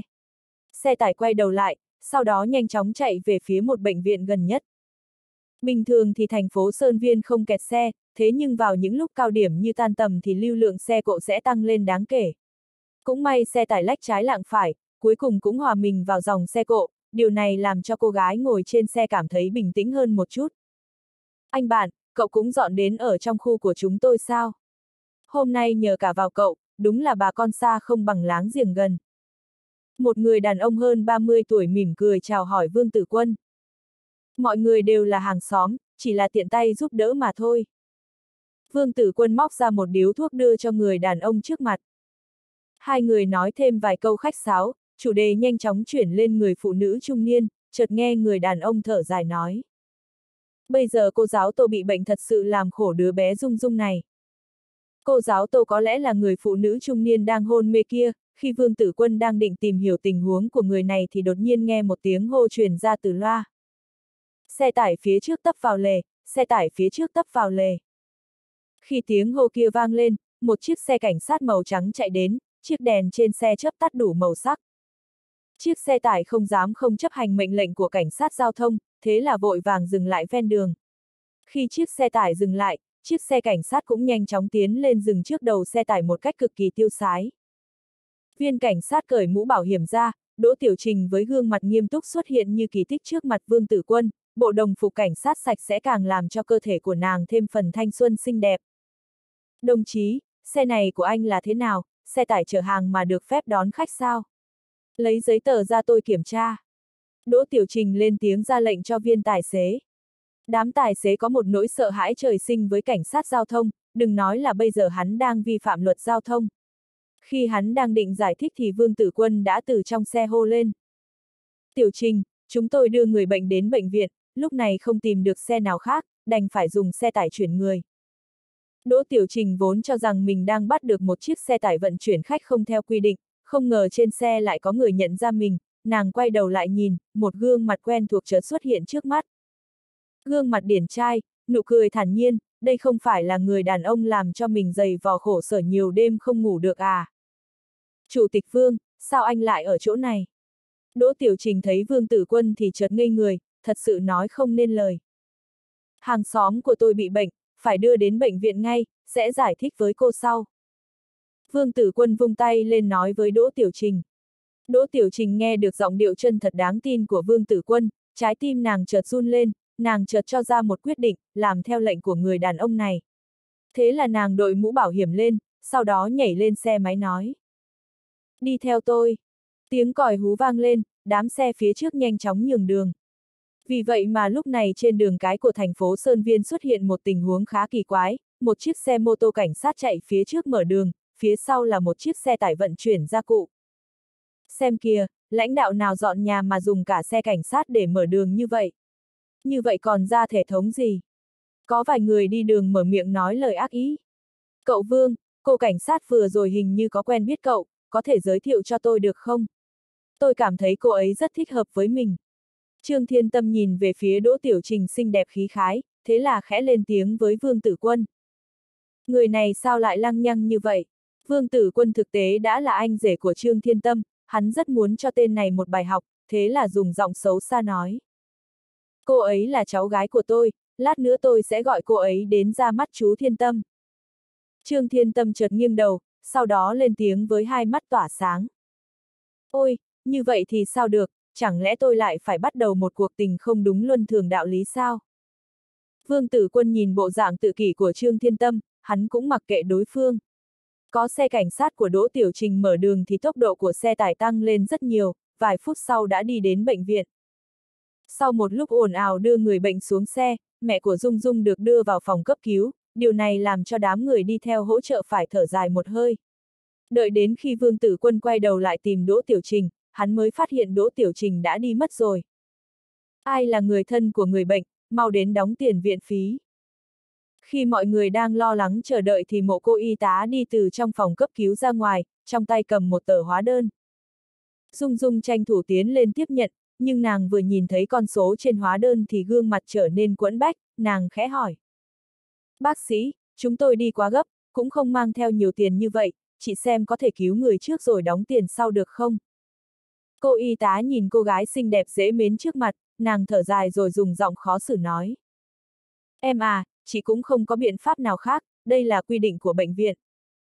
Thôi được rồi, để chúng tôi góp lại với nhau. Một người phụ nữ trung niên đi theo chợt nói, nàng vừa nói vừa lục tiền ra, nhưng vài người bỏ vào vài chục đồng cũng còn kém xa con số kia. Cậu Vương, có mang theo tiền không? Trương Thiên Tâm móc bóp của mình ra rồi quay sang hỏi Vương Tử Quân. Khi Trương Thiên Tâm nói thì Vương Tử Quân đã móc tiền ra kín đáo đưa cho Dung Dung. Cô cầm lấy dùng trước đi. Dung Dung nhìn sấp tiền dày trong tay mà nước mắt không thể nhìn được, nàng cúi người một cái thật sâu với Vương Tử Quân và các vị hàng xóm, sau đó cũng không nói nên lời. Số tiền cần đóng là 5 ngàn, bây giờ chỉ có 2 ngàn, cũng không đủ. Người phụ nữ trung niên đếm tiền rồi dùng giọng khó xử nói, thế là bầu không khí trong hành lang lại trở nên ngưng trọng hơn. Đây là bệnh viện, thiên chức của bệnh viện là cứu người, các người có còn phải là con người không? Mau tranh thủ thời gian đi cứu người, nếu không ông đập nát bệnh viện ra bây giờ. Trương Thiên Tâm thật sự mất mặt vì mình không mang theo nhiều tiền, lúc này cô y tá kia không chịu thu tiền, thế là hắn nhanh chóng nổi giận. Cô y tá thấy Trương Thiên Tâm phát huy thì vẻ mặt có chút sợ hãi, nàng cũng không dám tự tiện làm chủ. Thật xin lỗi, đó là quy định của bệnh viện, tôi cũng không có biện pháp nào khác. Vương Tử Quân nhìn Dung Dung đang khóc và Trương Thiên Tâm đang nổi giận, hắn kéo Trương Thiên Tâm sang một bên, sau đó lấy điện thoại ra, tắt máy rồi đưa cho cô y tá. Thế này đi, làm phiền cô nói một lời với phòng thu phí, tôi để lại điện thoại của mình, các người cứu người trước, ngày mai tôi sẽ đến chuộc lại điện thoại, được chứ? Cô y tá nhìn điện thoại của Vương Tử Quân, lại nhìn cô gái bên kia đang khóc lóc rất đau khổ, thế là gật đầu đồng ý. Một giờ sau mẹ của Dung Dung đã qua giai đoạn nguy hiểm, lúc này Vương Tử Quân mới cùng các vị hàng xóm quay về khu ký túc xá tạp chí thanh niên. Tiểu Vương, đến nhà tôi dùng cơm, tôi sẽ bảo chị gái nấu vài món ngon, chúng ta uống vài ly. Người đàn ông tên là Tào Tâm Sơn nhảy xuống xe tải, sau đó dùng giọng nhiệt tình nói với Vương Tử Quân. Vài vị hàng xóm khác cũng nhiệt tình mời Vương Tử Quân dùng cơm, vừa rồi mẹ của Dung Dung xảy ra chuyện và hắn hùng hồn tương trợ, điều này làm cho hắn chính thức biến thành một người được hàng xóm tiếp nhận nhiệt liệt. Vương Tử Quân mỉm cười dùng giọng xin miễn nói. Anh Tào, hôm nay mọi người đã mệt mỏi rồi, nên đi nghỉ sớm thì hay hơn. Tôi còn phải thu dọn gia cụ, sau này tôi còn ở đây, mọi người còn nhiều cơ hội. Vương Tử Quân nói như vậy thì các vị hàng xóm cũng không tiếp tục cưỡng ép, vậy là nhanh chóng tản đi. Tử Quân, cho tôi số điện thoại của cô gái cảnh sát kia mau. Tôi đã quyết định rồi, yểu điệu thục nữ quân tử hảo cầu, cho dù sau này có gọi cậu là chú thì cũng chấp nhận mà thôi. Khi mọi người đi xa thì Trương Thiên Tâm lại chuyển tâm tư lên người cô gái cảnh sát vừa nãy. Vương Tử Quân không quan tâm đến Trương Thiên Tâm, hắn phát thuốc cho các công nhân vận chuyển gia cụ, sau đó cùng bọn họ vận chuyển vào trong nhà. Đám công nhân kia có chút cảm động vì hành vi cứu giúp người khác trong lúc hoạn nạn của Vương Tử Quân, thế là không những giúp hắn vận chuyển gia cụ lên lầu, cũng sống chết cũng không nhận số tiền 200 đồng của hắn.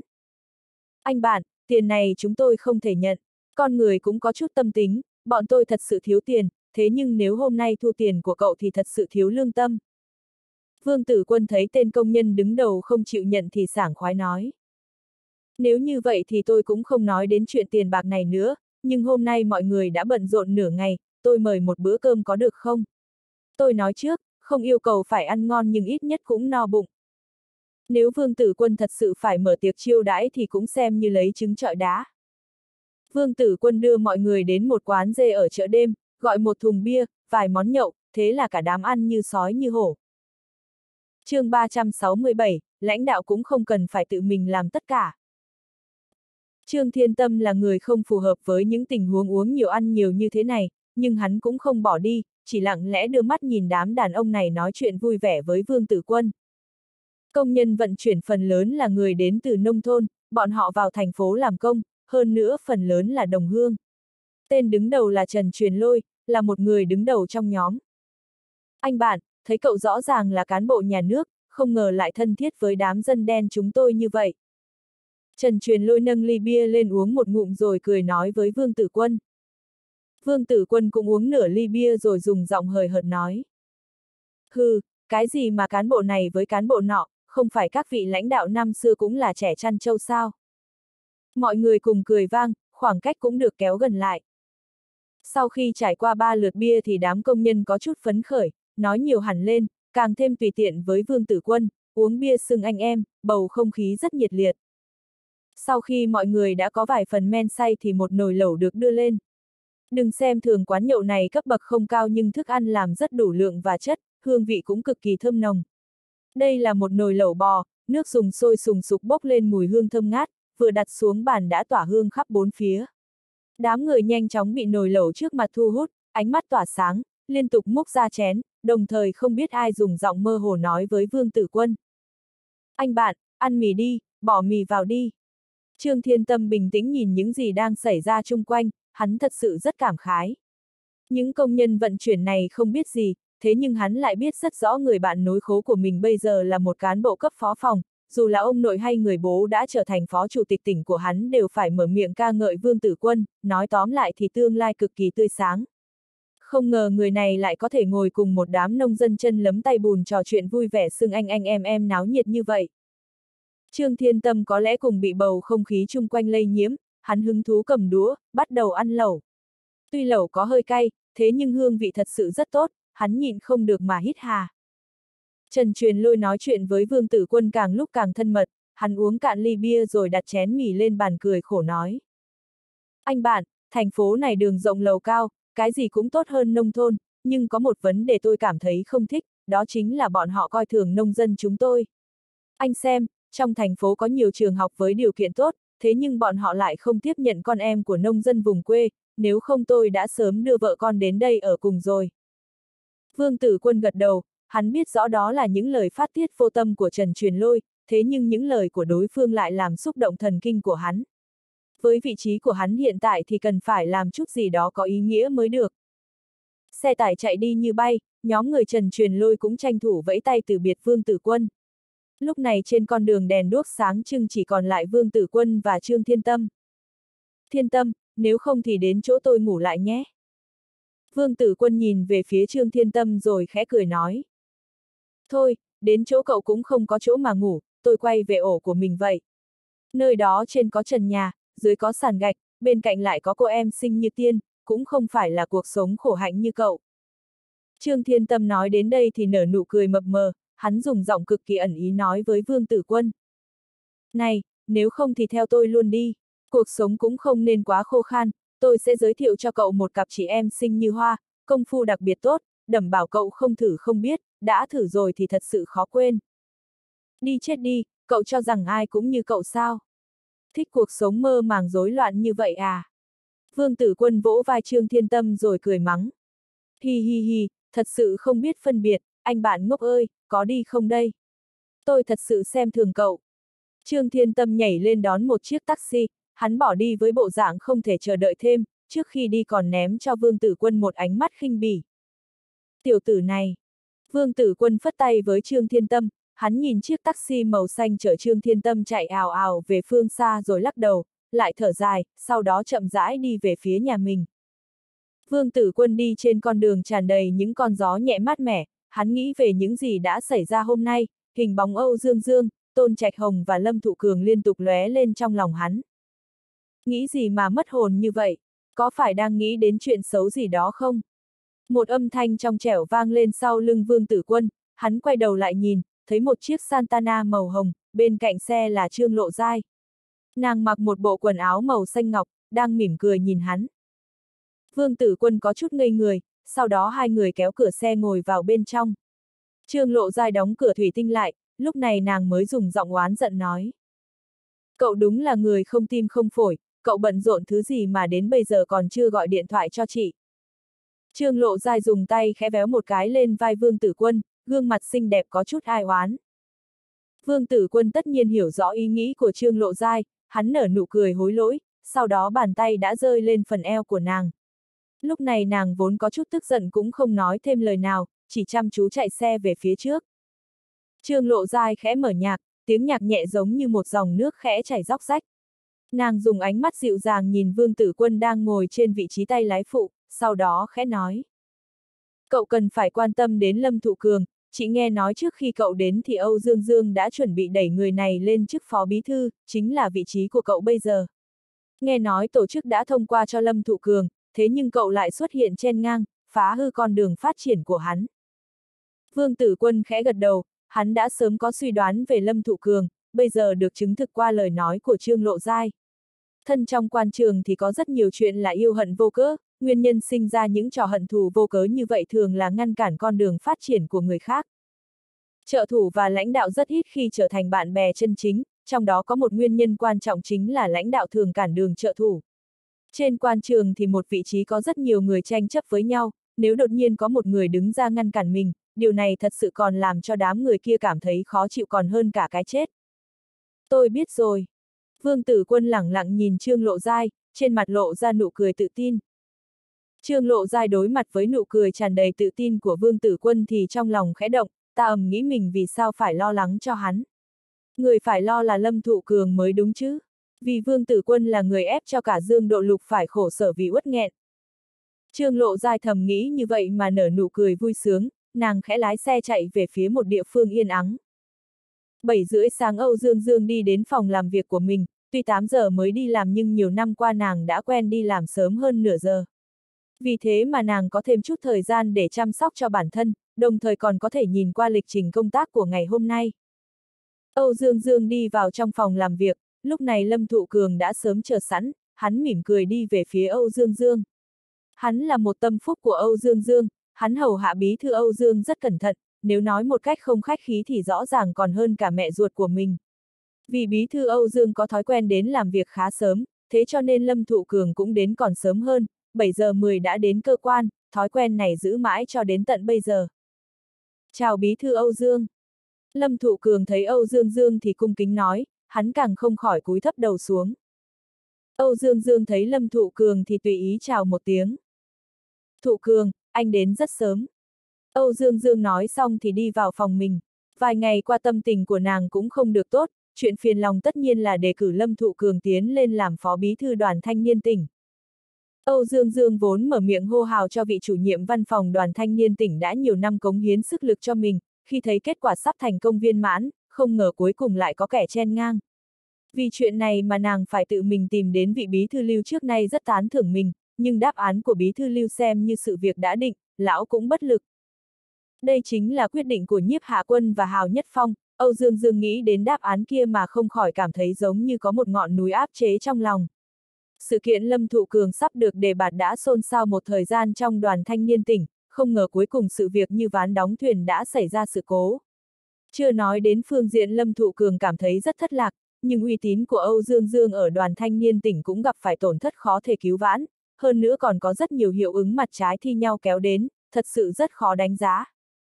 Âu Dương Dương là một người phụ nữ có thể bò lên vị trí bí thư đoàn thanh niên tỉnh, tất nhiên nàng không phải loại đầu đường xó chợ.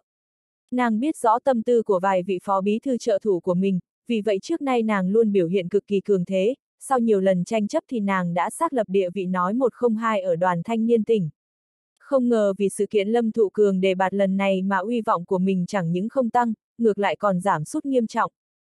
Nếu so ra thì Vương Tử Quân đến công tác càng làm cho nàng phải đề phòng cao độ.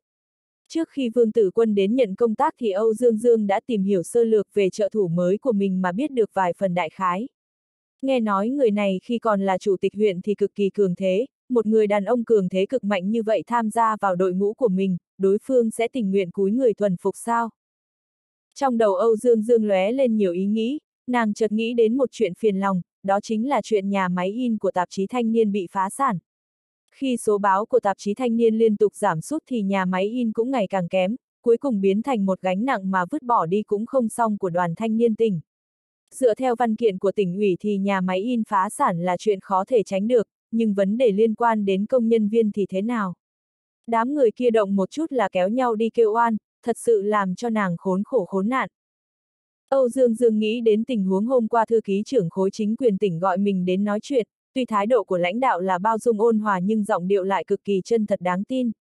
Đó chính là mình phải cực kỳ cố gắng, phải sắp xếp thỏa đáng cho đám công nhân kia, không được để bọn họ tiếp tục kêu oan tập thể, kêu oan vượt cấp rồi phát sinh ra nhiều tai họa ngầm.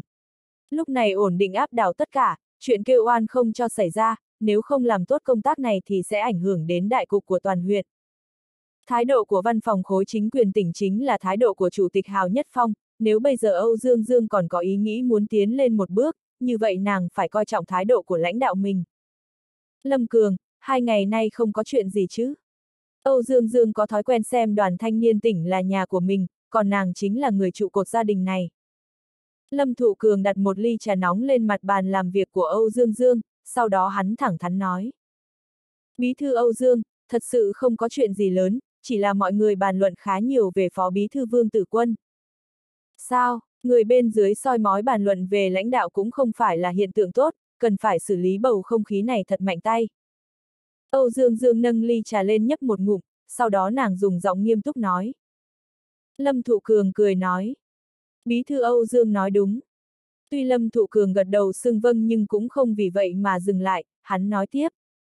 Tất cả mọi người nói đoàn thanh niên tỉnh chúng ta có một vị lãnh đạo trẻ tuổi như vậy, nhất định sẽ mang đến cho cơ quan chúng ta một luồng gió tươi mát.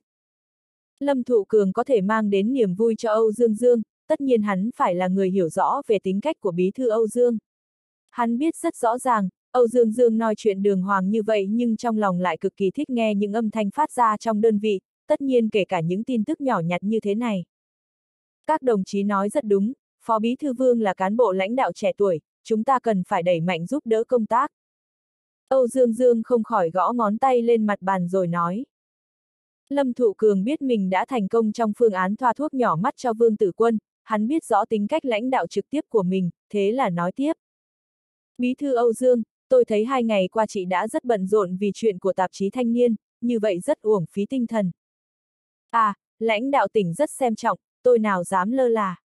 Cũng không biết anh Hào ở tạp chí thanh niên làm ăn thế nào mà để cho công nhân viên hai lần ba lượt đến khối chính quyền tỉnh kêu oan là thế nào.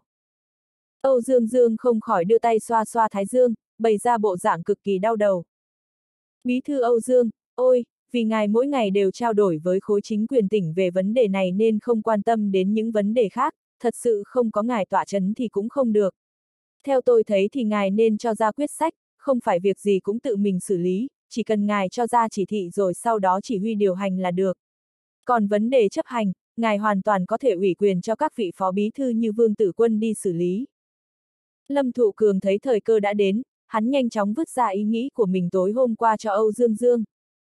Để cho nhóm phó bí thư Vương Tử Quân đi làm, hai mắt đờ đẫn của Âu Dương Dương chợt sáng lên, Lâm Thụ Cường không có hứng thú với một kẻ chen ngang như Vương Tử Quân, điều này thì Âu Dương Dương biết rất rõ chương 368 hỗ trợ không thêm phiền, giải hạn không thêm lo. Thật ra từ cấp cao đến cấp thấp, từ đơn vị lớn đến đơn vị nhỏ, các vị thủ hạ cấp phó bất hòa với nhau sẽ tạo nên tình thế tốt đẹp cho lãnh đạo đứng đầu. Anh có thể vững vàng khống chế, đỡ để bọn họ cùng một ruột, kết thành một khối. Biện pháp tốt nhất đối phó với cán bộ cấp dưới chính là chia để trị mà không phải tạo môi trường cho bọn họ hòa hợp êm thấm, để bọn họ kết nối lại và đứng về phía đối lập với mình. Ý nghĩ của Lâm Thụ Cường có nội dung thế nào thì Âu Dương Dương hiểu rất rõ, nàng cũng biết đối phương đang muốn ngáng chân Vương Tử Quân, muốn đả kích uy tín của Phó Bí Thư Vương, tất nhiên ý nghĩ mà báo thù rửa hận. Nhưng Âu Dương Dương cũng không quan tâm, nàng chỉ quan tâm đến những lợi ích mà mình sắp nhận được. Sau khi tiếp xúc với Vương Tử Quân thì Âu Dương Dương biết người này không dễ thu phục, là một người rất khó làm theo lệnh, nếu người này làm trợ thủ sẽ là trở ngại khiêu chiến quyền uy của lãnh đạo như nàng. Tất nhiên đối với loại trợ thủ và cũng là đối thủ như thế này thì biện pháp tốt nhất chính là cho đối phương chịu nhục và đả kích, đẩy đối phương xuống nước rồi lại kéo lên, để cho đối phương biết thế nào là kẹp đuôi làm người. Nếu để cho Vương Tử Quân phụ trách công tác sắp xếp cho công nhân nhà máy in của tạp chí Thanh niên lần này thì xem như một công đôi việc, vừa làm mình giảm đi chút chuyện phiền lòng, mình cũng không trực tiếp đối diện với đám công nhân kia. Nhưng nếu như Vương Tử Quân làm hư hại sự việc, chứng minh tên này đến nhận chức cũng không có năng lực, sau này khó dựng lên uy tín ở đoàn thanh niên tỉnh. Nhiệm vụ đầu tiên không hoàn thành, như vậy đám người muốn dựa về phía Vương Tử Quân sẽ chùn bước, chính hắn cũng phải cúp đuôi làm người mà thôi. Trong đầu chợt lóe lên ý nghĩ như vậy, trên gương mặt trắng nõn của Âu Dương Dương chợt xuất hiện nụ cười quỷ dị. Nàng khẽ dựa lưng lên chiếc ghế làm việc của mình, sau đó nói với Lâm Thụ Cường. Thụ Cường, quý một sắp qua, cũng cần nên đốc thúc các hạng mục công tác mở rộng và phát triển, anh quay về xem xét lại các hạng mục công tác, sau đó cho ra một văn kiện rõ ràng cho tôi. Lâm Thụ Cường nghe lời phân phó của Bí thư Âu Dương Dương thì trong lòng thầm vui vẻ, hắn biết rõ Bí thư đã tiếp nhận đề nghị của mình. Nhưng hắn cũng không dám vui vẻ ra mặt, hắn kính cẩn đồng ý. Tôi sẽ đi chuẩn bị ngay, sẽ tranh thủ cho ra bản thảo vào ngày mai. Âu Dương Dương khẽ gật đầu, sau đó giống như nhớ ra chuyện gì đó mà khẽ phân phó. Hôm nay có lẽ sẽ không có việc gì, anh thông báo cho các thành viên ban ngành, nói là tối nay sẽ mở tiệc đón gió tẩy trần cho Bí Thư Vương, để bọn họ đến tham gia đông đủ. Vâng, Bí Thư Âu Dương, chúng ta tổ chức ở đâu? Lâm Thụ Cường lấy ra một quyển sổ và cây bút, sau đó khẽ hỏi Âu Dương Dương. Quyết định ở Sơn Viên Tinh. Đúng rồi, anh sắp xếp cho tốt, cấp bậc nhất định phải cao, cũng không nên để cho Bí Thư Vương Tử Quân cảm thấy chúng ta quá lạnh nhạt. Âu Dương Dương vùng vẫy ngòi bút trong tay rồi cười nói. Vâng, tôi nhất định sẽ sắp xếp tốt. Lâm Thụ Cường múa bút ghi chép lời nói của bí thư Âu Dương Dương vào sổ, sau đó dùng giọng vang dội nói với Âu Dương Dương. Âu Dương Dương khẽ gật đầu, nàng lại nâng ly trà lên uống một ngụm. Lâm Thụ Cường thấy bí thư Âu Dương nâng ly trà lên thì biết lãnh đạo đã phân phó xong, thế là tranh thủ bước ra ngoài phòng làm việc của bí thư. Nhưng khoảnh khắc khi hắn bước ra khỏi cửa, bước chân không khỏi nhanh và nhẹ nhàng hơn. Nhỏ thuốc vào mắt Vương Tử Quân chính là một việc rất khoái trá, đối phương chiếm vị trí mà Lâm Thụ Cường hắn đã mơ mộng nhiều năm, tất nhiên sẽ phải trả một cái giá lớn, vì ông đây cũng không phải kẻ tầm thường ở đoàn thanh niên tỉnh. Trong phòng họp của đoàn thanh niên tỉnh, Âu Dương Dương nở nụ cười nhàn nhạt nói. Hội nghị này vốn sẽ phải mở ngày hôm qua, thế nhưng hôm qua tôi có chút chuyện nên phải rời sang hôm nay. Bí thư vương đến cơ quan chúng ta nhận công tác, không những bổ sung cho đoàn thanh niên tỉnh một cán bộ có năng lực, hơn nữa càng làm cho cơ quan chúng ta bừng bừng sức sống. Lúc này trong phòng họp có Phó Bí Thư Tôn Trạch Hồng, Phó Bí Thư Triệu Nguyên Cổ, còn có Ủy viên Kiểm tra kỷ luật Hoắc Tương Nhiễm, chủ nhiệm văn phòng Lâm Thụ Cường, tất nhiên đây sẽ là hội nghị hoan nghênh Vương Tử Quân. Âu Dương Dương, Tôn Trạch Hồng, Triệu Nguyên Cổ, Hoắc Tương Nhiễm và Phó Bí Thư vừa nhận chức Vương Tử Quân chính là các vị lãnh đạo của ban ngành đoàn thanh niên tỉnh, còn Lâm Thụ Cường tuy có mặt nhưng chỉ là một nhân viên dự thính hội nghị làm bản ghi chép mà thôi. Trong số những người đang ngồi đây, ngoài Hoắc Tương Nhiễm hôm qua không được gặp mặt thì Vương Tử Quân phần lớn đã từng gặp qua đám người còn lại. Phó Bí Thư Triệu Nguyên Cổ có thân hình cao lớn, lại có hơi béo, cặp mắt lớn luôn ẩn giấu nụ cười, cực kỳ bình dị gần gũi. Hoắc Tương Nhiễm thì lại có chút khí khái kiêu ngạo, được xưng tụng là người có tướng mạo anh Tuấn, làm cho người ta sinh ra hảo cảm ngay từ cái nhìn đầu tiên. Nhưng đám cấp phó này thật sự không dám có bất kỳ thái độ nào khác lạ với bí thư Âu Dương Dương ngồi trên vị trí chủ vị, tuy không đến mức cầm bút ghi chép như Tôn Trạch Hồng nhưng ít nhất cũng ngồi ngay ngắn nghiêm chỉnh. Tôi đề nghị các vị cho một chàng pháo tay nhiệt liệt để chào đón đồng chí Vương Tử Quân gia nhập vào đại gia đình đoàn thanh niên tỉnh của chúng ta. Âu Dương Dương nói rồi đứng lên, là người vỗ tay đầu tiên. Âu Dương Dương vỗ tay thì tất nhiên những người khác cũng nhanh chóng vỗ tay theo, thế là phòng hội nghị vang lên tiếng vỗ tay như sấm dậy. Âu Dương Dương đứng lên thì Vương Tử Quân cũng không thể ngồi, hắn đứng lên tỏ thái độ sẽ chăm chỉ công tác và học tập kinh nghiệm của các vị lãnh đạo, thế là hội nghị hoan nghênh xem như trôi qua trong ôn hòa. Vấn đề sau đó chính là phân công cho Vương Tử Quân, thật ra đã được Âu Dương Dương thông qua trước đó.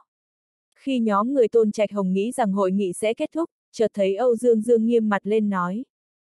Các đồng chí, hôm nay ngoài chuyện hoan nghênh đồng chí Vương Tử Quân, tôi còn có một chuyện quan trọng cần thương lượng. Âu Dương Dương vừa nói vừa đưa mắt nhìn khắp bốn phía, khi ánh mắt Vương Tử Quân tiếp xúc với ánh mắt của Âu Dương Dương, hắn chợt cảm thấy trong ánh mắt đối phương có hương vị khác thường. Tôi tin chắc các vị lãnh đạo ngồi đây cũng đã biết sự kiện công nhân nhà máy in của tạp chí thanh niên tụ tập đến biểu tình ở khối chính quyền tỉnh. Ngày hôm qua thư ký trưởng đã truyền đạt chỉ thị của Chủ tịch Hào, nói rằng phải nhanh chóng giải quyết vụ này, phải cho ra một câu trả lời hợp lý với các công nhân nhà máy in, tuyệt đối không để xảy ra sự kiện kêu oan tập thể trước cổng khu văn phòng khối chính quyền tỉnh một lần nữa. Giọng điệu của Âu Dương Dương càng thêm cao vút, giống như lúc này miệng lưỡi của nàng đã được mở khóa, nói ra thì thật sự giống như nước chảy mây trôi, giống như dòng nước bị chặn lại bây giờ mới bùng phát. Phòng họp trở nên cực kỳ yên tĩnh, ngoài Lâm Thụ Cường đang dùng bút viết bản ghi chép thì căn bản không còn âm thanh nào khác.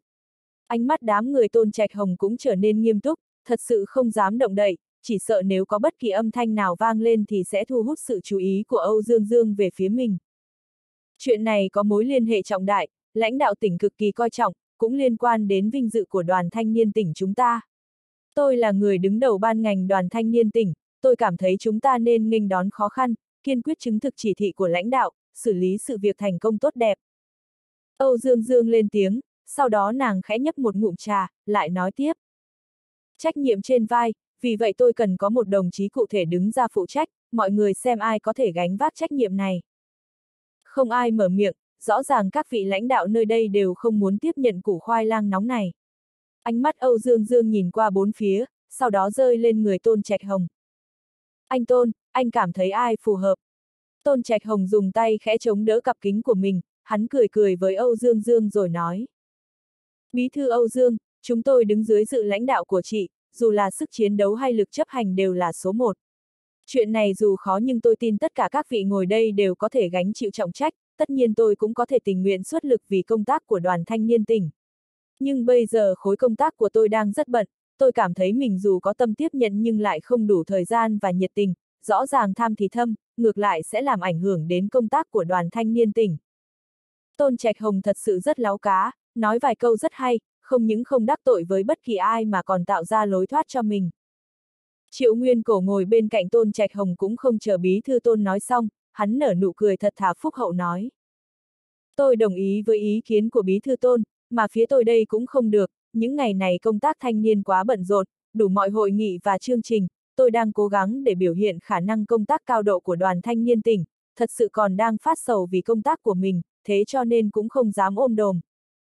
Vương Tử Quân lẳng lặng ngồi ở phía bên kia, khi Âu Dương Dương mở miệng thì hắn đã ý thức được một vấn đề, chuyện này chỉ sợ sẽ rơi lên đầu mình. Nếu như Âu Dương Dương không muốn ép chuyện này lên đầu mình, cô ta sẽ không nói ra bằng giọng điệu như thế, sẽ chỉ mặt điểm tướng, như vậy nhóm Tôn Trạch Hồng cũng không thể nào chối từ được. Nhưng bây giờ Âu Dương Dương lại ném ra cho thảo luận dân chủ, thật ra đang ném cho đám Tôn Trạch Hồng một tín hiệu quá rõ ràng, đó chính là các anh có thể không làm, có thể thoát khỏi trò mèo này. Nếu so với những người khác thì Vương Tử Quân là người lên tiếng cuối cùng. Hắn là người mới đến, trên đầu không có công tác gì quan trọng, nếu như từ chối thì thật sự khó coi. Hơn nữa Âu Dương Dương đã cho mọi người thảo luận dân chủ, như vậy chuyện này chắc chắn sẽ rơi lên đầu mình. Nhưng Vương Tử Quân cũng không mở miệng, hắn chỉ mỉm cười nhìn người ta biểu diễn. Khi Vương Tử Quân mở miệng cười tươi, Hoắc Tương Nhiễm là tổ trưởng tổ kiểm tra kỷ luật của đoàn thanh niên tỉnh lại dùng giọng đông cứng để từ chối. Tôi còn có rất nhiều chuyện chưa xử lý ở trung tâm hoạt động thanh niên. Nếu so với hai vị phó bí thư trước thì Hoắc Tương Nhiễm thật sự trực tiếp hơn rất nhiều, đồng thời hắn lên tiếng như vậy cũng làm cho Âu Dương Dương nhíu mày. Nhưng Âu Dương Dương cũng không nói lời nào, nàng đưa mắt nhìn Vương Tử Quân. Nếu đã không còn ai thì Vương Tử Quân biết mình không thể nào tránh thoát, hắn bị đẩy vào ngõ cụt, cũng không bằng trực tiếp nhận lấy. Khi Vương Tử Quân chuẩn bị lên tiếng thì Lâm Thụ Cường khẽ đặt bút xuống, ánh mắt đắc ý nhìn Vương Tử Quân chợt lóe lên luồng sáng vui vẻ khó che giấu. Hắn biết Âu Dương Dương sẽ tiếp nhận đề nghị của mình, sự việc quả nhiên diễn ra theo chiều hướng như vậy, Âu Dương Dương quả nhiên ném củ khoai nóng bỏng cho Vương Tử Quân. Bí thư Âu Dương, tôi vừa nói đến, cũng không có công tác cụ thể, nếu chị tin tưởng, như vậy cứ giao hạng mục công tác này cho tôi. Vương Tử Quân khẽ đặt ly trà xuống rồi nói. Tôn Trạch Hồng và Triệu Nguyên Cổ dùng ánh mắt nhàn nhạt nhìn Vương Tử Quân, cũng không tỏ vẻ gì khác. Nhưng lúc này khóe miệng của Hoắc Tương Nhiễm lại hiện lên một nụ cười khó phát giác ra được. Bí thư Vương, anh vốn là cán bộ mới đến nhận chức, vốn cũng không nên áp đặt trọng trách này cho anh.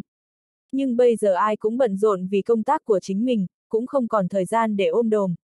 Trước khi Bí Thư Vương đến đoàn thanh niên tỉnh nhận công tác thì đã từng là lãnh đạo khối chính quyền một huyện, tôi tin chắc anh sẽ dễ dàng xử lý vụ này như trở bàn tay, sẽ cho công nhân một câu trả lời thỏa mãn, sẽ cho lãnh đạo một câu trả lời thỏa mãn.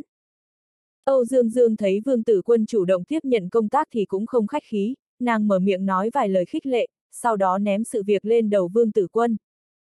Làm cho công nhân thỏa mãn, cho lãnh đạo thỏa mãn, nhìn qua giống như đang khen ngợi Vương Tử Quân, nhưng nghe cẩn thận thì sẽ nhận biết được hương vị và vấn đề bên trong. Đây là một yêu cầu của Âu Dương Dương với Vương Tử Quân, nếu như không thể cho lãnh đạo thỏa mãn, không làm cho công nhân thỏa mãn, như vậy dù Vương Tử Quân có xử lý thế nào cũng xem như thất bại thảm hại. Lâm Thụ Cường thật sự cảm thấy trong lòng vui như nở hoa, thầm nghĩ Âu Dương Dương suy xét quá chu toàn. Bí thư Âu Dương chụp mũ như vậy thật sự quá hay, để xem tên khốn Vương Tử Quân kia có thể chơi đùa thế nào cho xong được. Nếu Vương Tử Quân không xử lý cho tốt, như vậy sẽ làm cho mâu thuẫn càng sâu sắc, thế thì uy tín của một vị phó bí thư cũng dần mất sạch. Khi Lâm Thụ Cường đang thầm cảm thấy vui vẻ thì nghe Vương Tử Quân nói tiếp. Bí thư Âu Dương, vừa rồi ngài cũng đã nói rõ ràng, tôi vừa mới đến, cũng còn chưa quen thuộc công tác ở đoàn thanh niên tỉnh, hơn nữa chuyện lần này khá quan trọng, tôi chỉ sợ làm không tốt sẽ phụ lòng tín nhiệm của chị, vì vậy bất đắc dĩ cũng có vài yêu cầu, muốn mượn người phụ giúp. Âu Dương Dương cũng không cảm thấy bất ngờ vì thái độ này của Vương Tử Quân, nàng khẽ cười rồi dùng giọng cực kỳ chuẩn xác nói.